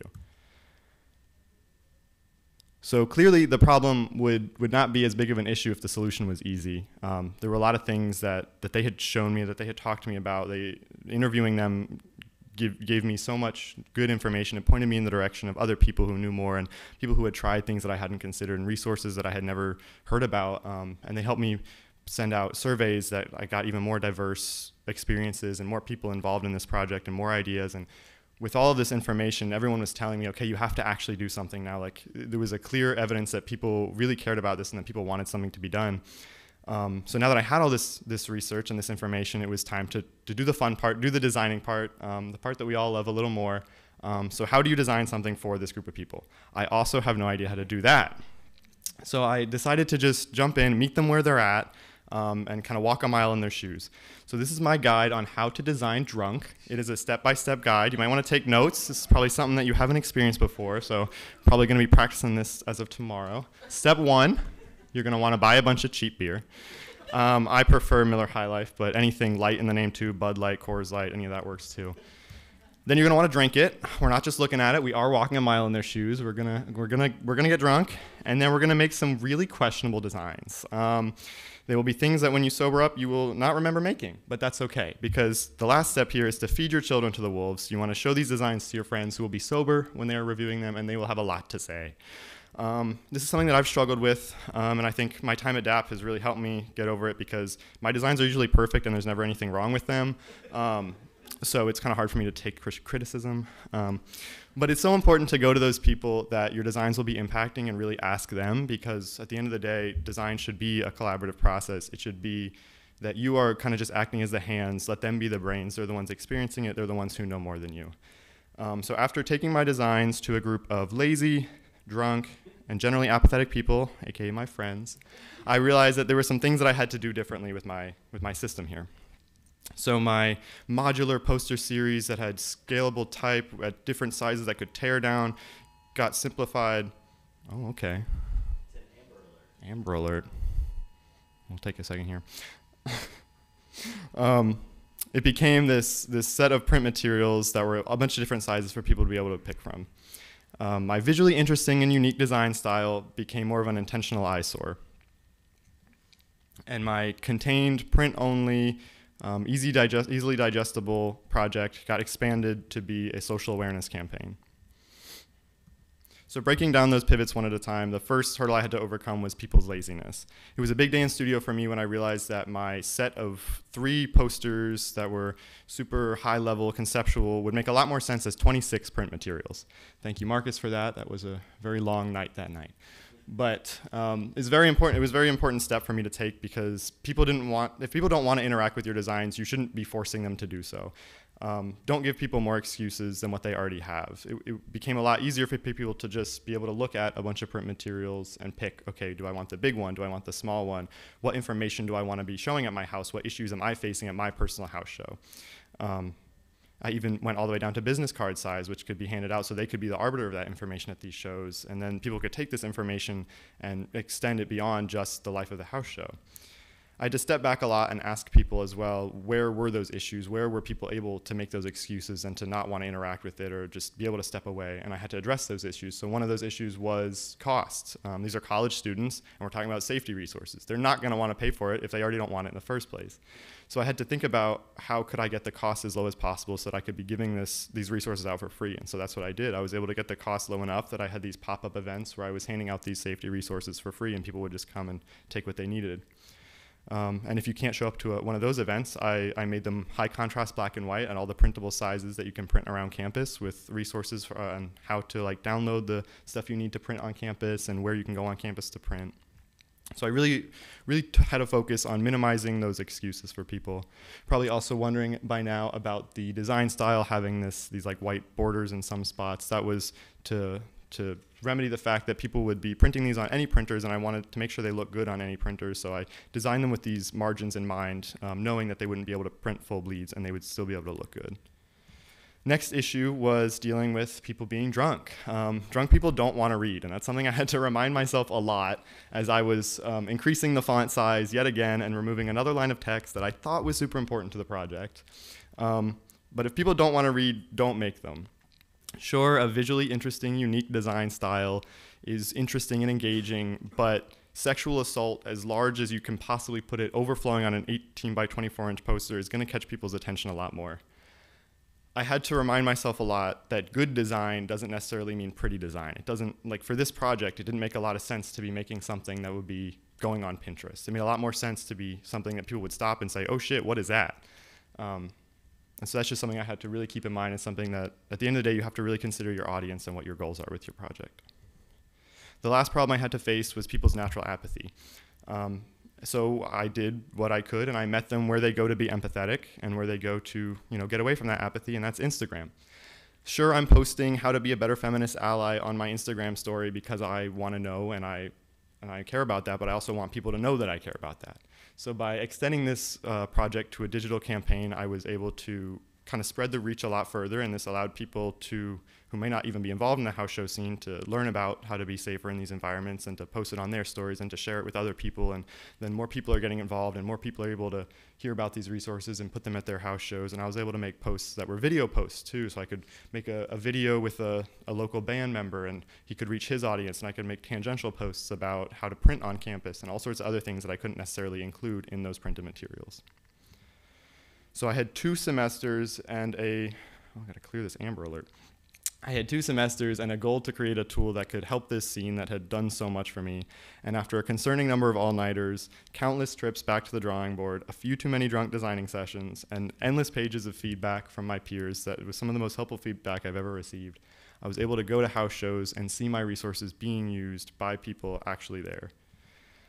At the beginning of this project, I had no idea how to make a drunk 18 year old college student care about what to do if someone at his neighbor's house show was potentially overdosing. But by the end, I realized it's the same thing you have to do for any design project. You have to go to the people who your design will be affecting and ask them. Thank you.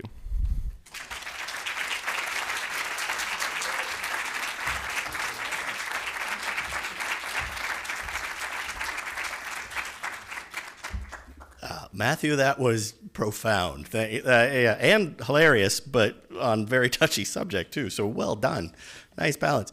Um, and it, it, doesn't have to be pretty to be good. I like that. There was something I know. I'm paraphrasing terribly. I think Jonas Salk, the inventor of the polio vaccine, said, um, "You don't you don't perseverate on the answer. Find the right questions, and the answer will reveal itself." So your "I don't know" thing vibes with that pretty well. So thank you. Uh, thank you, Matthew. Our next presenter is Megan Mays, class of 2008. Uh, BSDE with a pre presentation Agile Revolution Embracing Product Gems for Simplicity and Success. Megan has worked in product design and development for almost 20 years.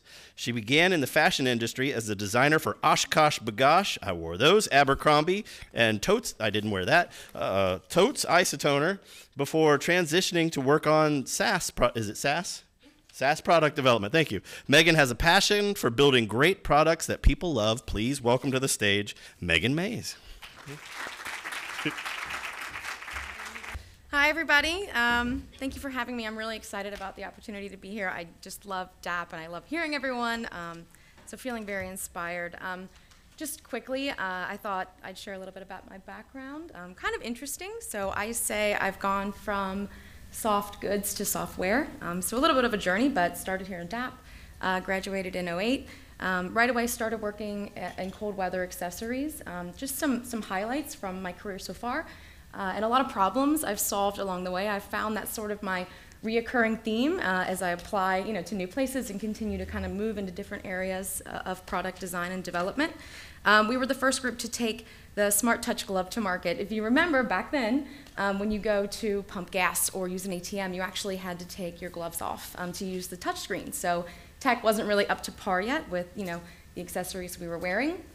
So that was just kind of a cool highlight from my time there. Um, I moved into software development, really focused on real estate tech, um, which is interesting. There's a lot of that, and it's constantly a growing field. Um, but a lot of cool things along the way. I've, I've launched an AI assistant um, into the market. I've won a W3 award for Best Business App. Uh, and I'm currently working in CRM, um, which is customer relationship management. So it's all about your contacts and building relationships and nurturing relationships, um, still in the real estate space. So today I thought I'd talk a little bit about what is Agile? What does that mean? How is it applied? Agile's kind of spicy. If you can be spicy in product development, it's kind of spicy. Um, you could ask 100 people, what does Agile mean to you? And you would get 100 different answers, um, which I love. Uh, it's, it's kind of a great topic for debate and discussion, but what I think is great to remember about it uh, and applied across all of our professions, uh, it's a mindset, right? It's about understanding, collaborating, uh, learning, staying flexible, um, all within in mind trying to achieve, you know, high performing results. Um, I love working on an agile team today. Uh, they can deliver, you know, instant, intimate, frictionless value at scale, which is a very powerful uh, statement. Um, and people who practition, practitioners of agile mindsets, uh, focus on innovating, right, and delivering um, I would say more steady value to customers uh, at a rapid response, uh, and they're able to shift. So it's kind of an interesting thing when you look at the marketplace um, and SaaS products and, and, how customers and all these things can shift, and you need to kind of be flexible with that in your product development. And, typically teams work in two-week sprints. I'm not the biggest fan of a sprint time box, but it is typical across agile teams, uh, which will come into play a little bit later. Um, this, although not a cute example, um, it is a powerful slide. I, I use this, uh, this is old, it's a year old, um, and things are blurred out, obviously, for, for confidentiality reasons, but um, it was a product I, I, worked on about a year ago, um, and I, I, like using this type of slide when I'm communicating uh, with stakeholders, right? So people within a company, just to kind of illustrate, uh, Road mapping is hard. Product development is hard. Uh, as a product manager, I can be sometimes spinning eight to nine plates, uh, you know, at one time of uh, features development, stuff that's in testing, stuff that's in sprint under, under development with our engineers, uh, getting ready to launch, or also in R&D, right? So features and ideas uh, that we're shaping as a product and engineering team. So there's sort of always a lot happening, um, but I like to use this slide to really illustrate uh, a question that I was asking myself a lot, uh, staring at this every two weeks when I would cover you know, here's what we have going on, here's what's coming up, here's what we're ready to release, um, you know, to the business and to the stakeholders. I asked myself uh, almost every time we met, how often is value actually being delivered to the users of this product? So as you'll see on my blurry sort of sample, um, some of these line items are, are, features that maybe would take a week or two, maybe a couple sprints, um, but some could take four sprints, you know, some could take six months to develop uh, depending on you know the initiatives of the company or you know the feature that we're trying to, to build and, and release. So um, for me, it was really important to look at this timeline and in the in the mind of a user of an application. You know, are they seeing that we're delivering constant value to them? There's always this sort of crave for more, um, you know, with our audience in, in most apps today, um, where they want to be able to know that you're actually constantly providing them value and constantly thinking about innovation. Um, so as any you know designer or, or product manager, product person, um, I started to think about the problem, right? So this was the problem statement uh, that I came up with, right? Our roadmap was full, as you could see, right? A lot going on. Uh, we were aligned with the business and the strategic objectives, which is always sort of a, a big piece that you want to make sure you have covered on your roadmap and your planning. Um, but customers weren't seeing delivery, right? They weren't seeing these improvements, they weren't seeing enhancements due to a lot of big initiatives, um, which I think is a pretty common problem. So, you know, the question that my team and I were asking ourselves is, was there a way to inject some big impact features, right, um, with small development timelines uh, into our existing plans? We didn't want to disrupt the roadmap. We had committed to these line items, you know, to the business, uh, to the executives, you know, to, to deliver these things in a certain amount of time. And so we came up with the GEMS, uh, which is a really fun way uh, to look at a new framework. Um, I think gems are amazing because they can be applied really across any discipline, right? Um, the idea behind calling it a product gem is because my team and I were literally mining through data, you know, product feedback, um, customer testimonials, ideas I had written down while using products of, of ways to improve them. Um, you know, so we came up with this set of rules. So these were our three must-haves to be a product gem. Uh, it must be a low effort ad, achievable in one sprint, right? So not a lot of time can be invested to not disrupt the commitments we'd made to the business on our roadmap and our deliverables. Um, number two was it had to bring delight or value to the user. So it had to be something they liked using, right? It had to be something that they were kind of awed by, right? Um, that sort of little sparkly thing that got their attention in the product to make them happy using the product. Uh, and number three, must have simple requirements and acceptance criteria. I have written thousands of user stories that are just way too long and that should never be introduced to a developer. Um, you know, so it really needed to be simple, a few sentences to really capture what we were trying to do in the product um, to make it delight the user. So this was our product framework. Um, and I wanted to walk you through just one example of one that we actually implemented, uh, just to give you a better idea visually of what that actually means. Um, so we called this add a contact anywhere. And remember, I was working on CRMs at this point, so you know, a software application that's fully dedicated to managing relationships between a user and their contact system.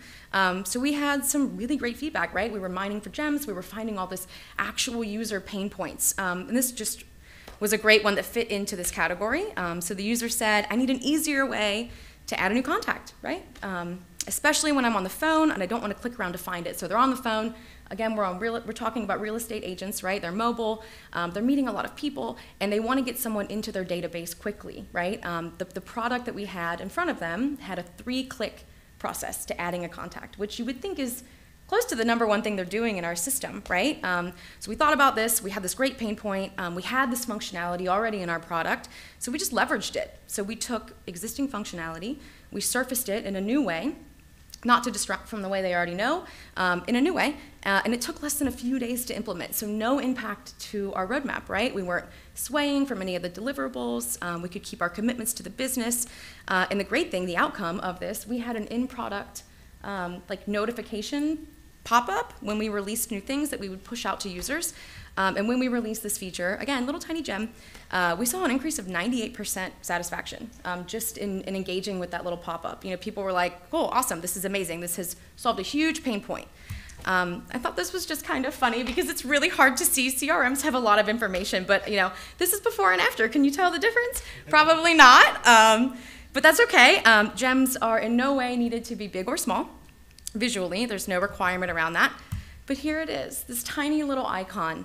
Um, and we put this everywhere, right? So this is the add a contact icon. We put it on every screen uh, within the application. So no longer was it buried under you know, a, a, left side nav with a series of clicks. It was everywhere. So no matter what the user was doing in the product, um, they could now add a contact at any time, right? So it saved them a lot of time, a lot of energy. They didn't have to go find it.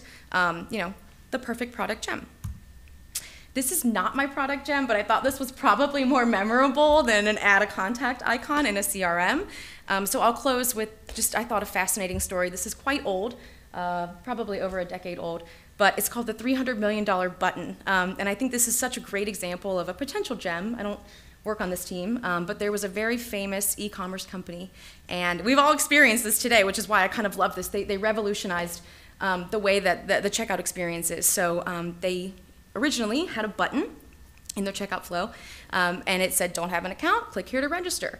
Uh, and it terrified everybody. Um, so there was this huge sort of uh, barrier for conversion, right? Nobody wanted to make an account. They didn't want to have to put their information in or commit to something, right? So they had all this, you know, customers abandoning and um, you know people having multiple uh, logins, multiple passwords, um, and they made a really simple change, a UX change. They changed the language on their button, which you know I've seen this everywhere. Um, so they were definitely the trend starters. They changed the register button to continue as guest. Um, which is now on every online you know, e-commerce site. Um, and it was staggering. So with this tiny, simple language change on a button, um, 45% increase in sales, an additional $15 million their first month, and $300 million within a year. So they had all these barriers lifted um, for you know, users now being able to completely move through. which I think is just amazing. Um, and in conclusion, just a reminder, right? Small changes can have big impact. Um, delivering incremental value alongside larger initiatives, uh, I think, is a great way to go. Uh, and I encourage everyone just to find creative ways um, to consistently deliver value to your users. Thank you very much.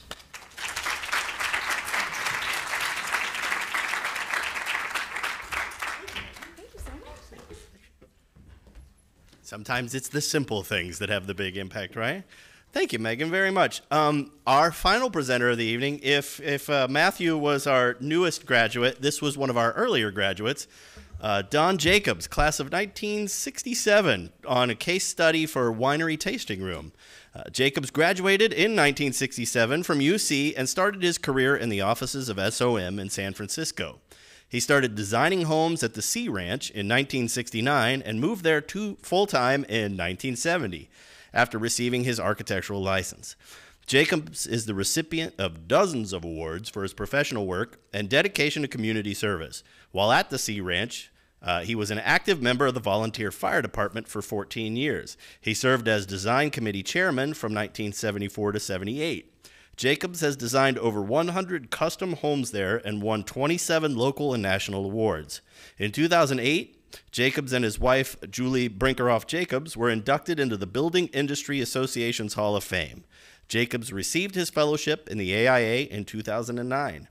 2018 brought his award from UC School of Design, Architecture, Art, and Planning as Alumnus of the Year.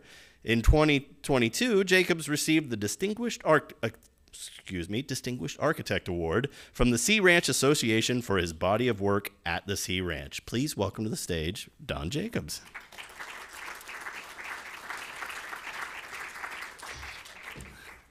Thank you. Let me get you started here. Greetings, everyone. Uh, it's a, it is an honor to be here. Wow, what great presentations. Uh, I hope I can, mine will live up to it. And by the way, I should say before I start the presentation that I'm the same age as President Biden. So if I stumble or forget something, don't worry about it. I'll probably remember it later. So, so with that, let's look at what does this beautiful oak tree, 80 feet in diameter, and uh, about 150 years old, oldest thing on the site we're talking about. The Casino Mine Ranch, a, bottle of wine, and this four acre pond all have in common. Well, these are the things I was presented with when I was uh, first taken on the site by the client. and this was my inspiration.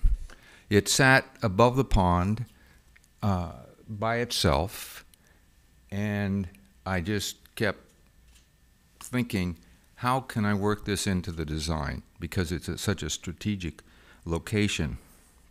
The program was pretty straightforward. About a 3,000 square foot uh, tasting room. The location, uh, this is not Napa or Sonoma, by the way. this is a, a, much more rural agricultural area in the foothills of the Sierra, uh, also known as the Gold Countries, where it was discovered by the 49ers uh, not far away. About an hour's drive east of Sacramento called the Shenandoah Valley. There are about 30 wineries in the valley, and the architectural style could best be described as rustic. Well, my client uh, has been producing for about 10 or 12 years very sophisticated wines, so we wanted a more sophisticated uh, building, uh, tasting room, to accommodate people making reservations uh, for their to taste the wine. Here is the site. Uh, I apologize uh, to those uh, virtually watching because I know the uh, my marker won't show up, but uh, the pond is obvious. The tree sits just above it that I had the earlier picture of. So you can see it's in a strategic location.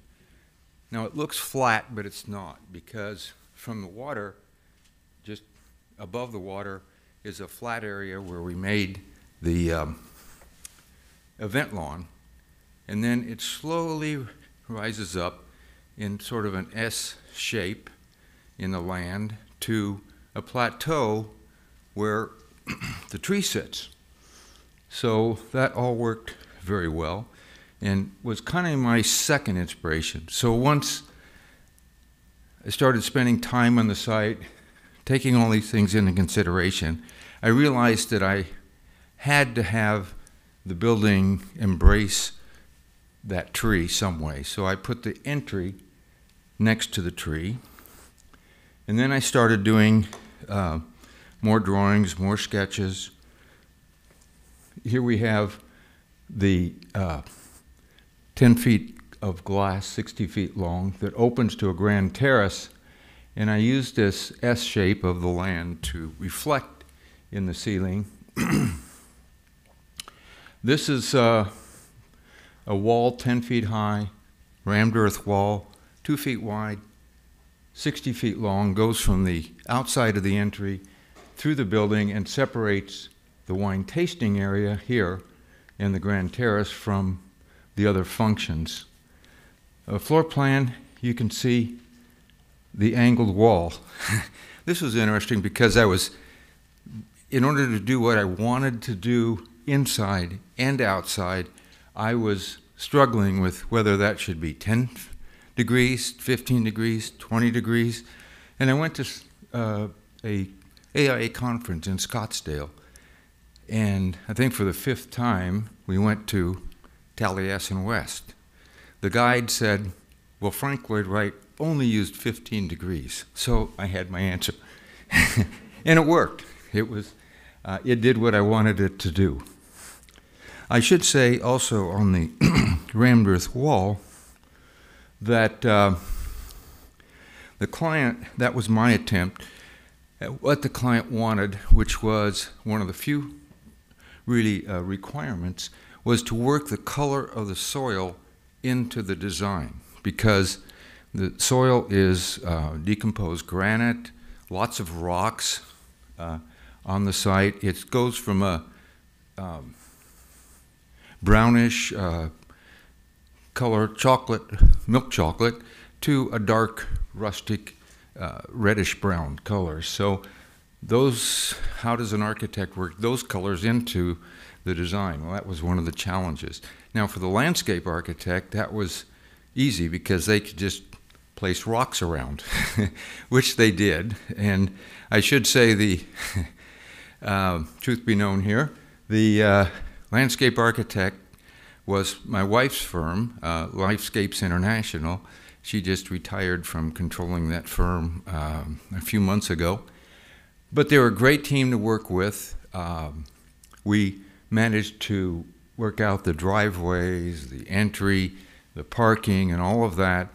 And you have to remember when you're designing in a vineyard, the vine, vineyard manager doesn't want anything on the land other than the vines. So every time you put something down, you're taking away from what he wants there. So that was a compromise, but envisioning the project being in the vineyard um, was, uh, again, one of the inspirations. And uh, I have to say a word about models. I don't think a designer can learn uh, more about their design than when they're building a model. 3D renderings are wonderful. They do everything they're supposed to do. But when you've got your hands into it and you can hold it up and, and cut it and make adjustments, thank goodness, while I was here, I learned how to build models. And uh, I still love doing it. And I noticed in visiting the studios yesterday that that art has expanded and, and grown, and, and there's a lot of people doing very creative models here, um, which is great to see because I'm a firm believer in them. Uh, being a sole proprietor, not having a large firm like I used to, um, I had to do everything, like checking shop drawings. Well, think about it.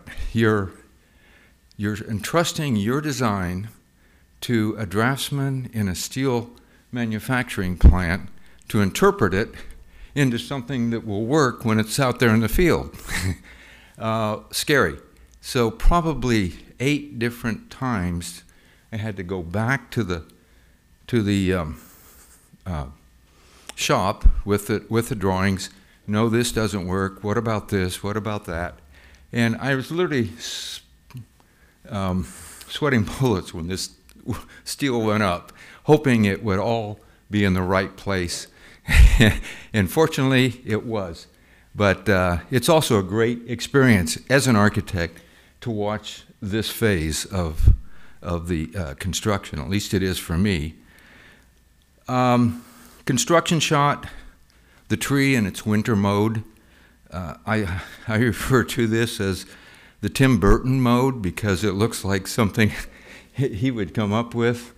It's still a beautiful tree, uh, even in that mode. Uh, here's one, a shot taken from inside the tasting room looking out to the Grand Terrace, which is mud now, and onto the uh, pond and the trees surrounding it. The, the pond has a resident egret, a resident heron, Canadian geese fly in and out. There's a resident duck population. It's a, a beautiful thing to watch. And here's the end product uh, the tree on the left, the entry um, on the right, the landscaping. Uh, this is about nine months after, excuse me, the project was was completed. Now inside, here's how I handled the colors. Um, and if anybody is ever considering a rammed earth wall, please contact me because I've done a lot of research and most of what you see on the internet is not true at all. It doesn't work that way. Believe me, it's not inexpensive. It's not something that can be done by um, inexperienced labor. Anyway, I could go on and on, but I won't. So this is almost a, rammed earth wall, but these are the colors in the soil outside. Now, one of the things I was happy to be able to do and surprise the owner because he didn't realize it until I did it until he was finished is that on the right hand side where the uh, you you walk up to the receptionist here and the the, the wine tasting is by uh, reservation and you check in and you are looking through the building to the fire in the fireplace at the pizza oven uh, that's cooking your pizza to go with the with the wine that you're about to taste. Uh, I didn't like the idea of the dome shape. I didn't think it was gonna. It would. I thought it would distract from everything else. So I just wrapped the pizza oven in in Corten steel. That was my my answer to handling that. Uh, a shot from the Grand Terrace looking back at the tree in the, in, in the interior. And my, one of my favorite shots, finally, my inspiration framing the tasting room and the entry. Thank you.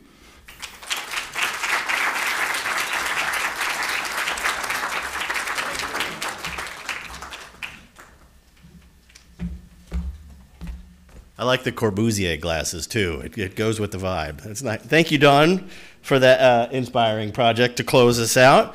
Um, and thank you for your presentation. I'd like to. This has uh, been another great DAAPX. Thank you, everyone, for coming. I'd like to do a special thank you to some people behind the scenes. Thank you, Don, up in the Dan, up in the booth, and thank you very much. Thank you for Ellen and your team for putting this all together. And if you would, one more round of applause for all of our guest speakers today. Thank you.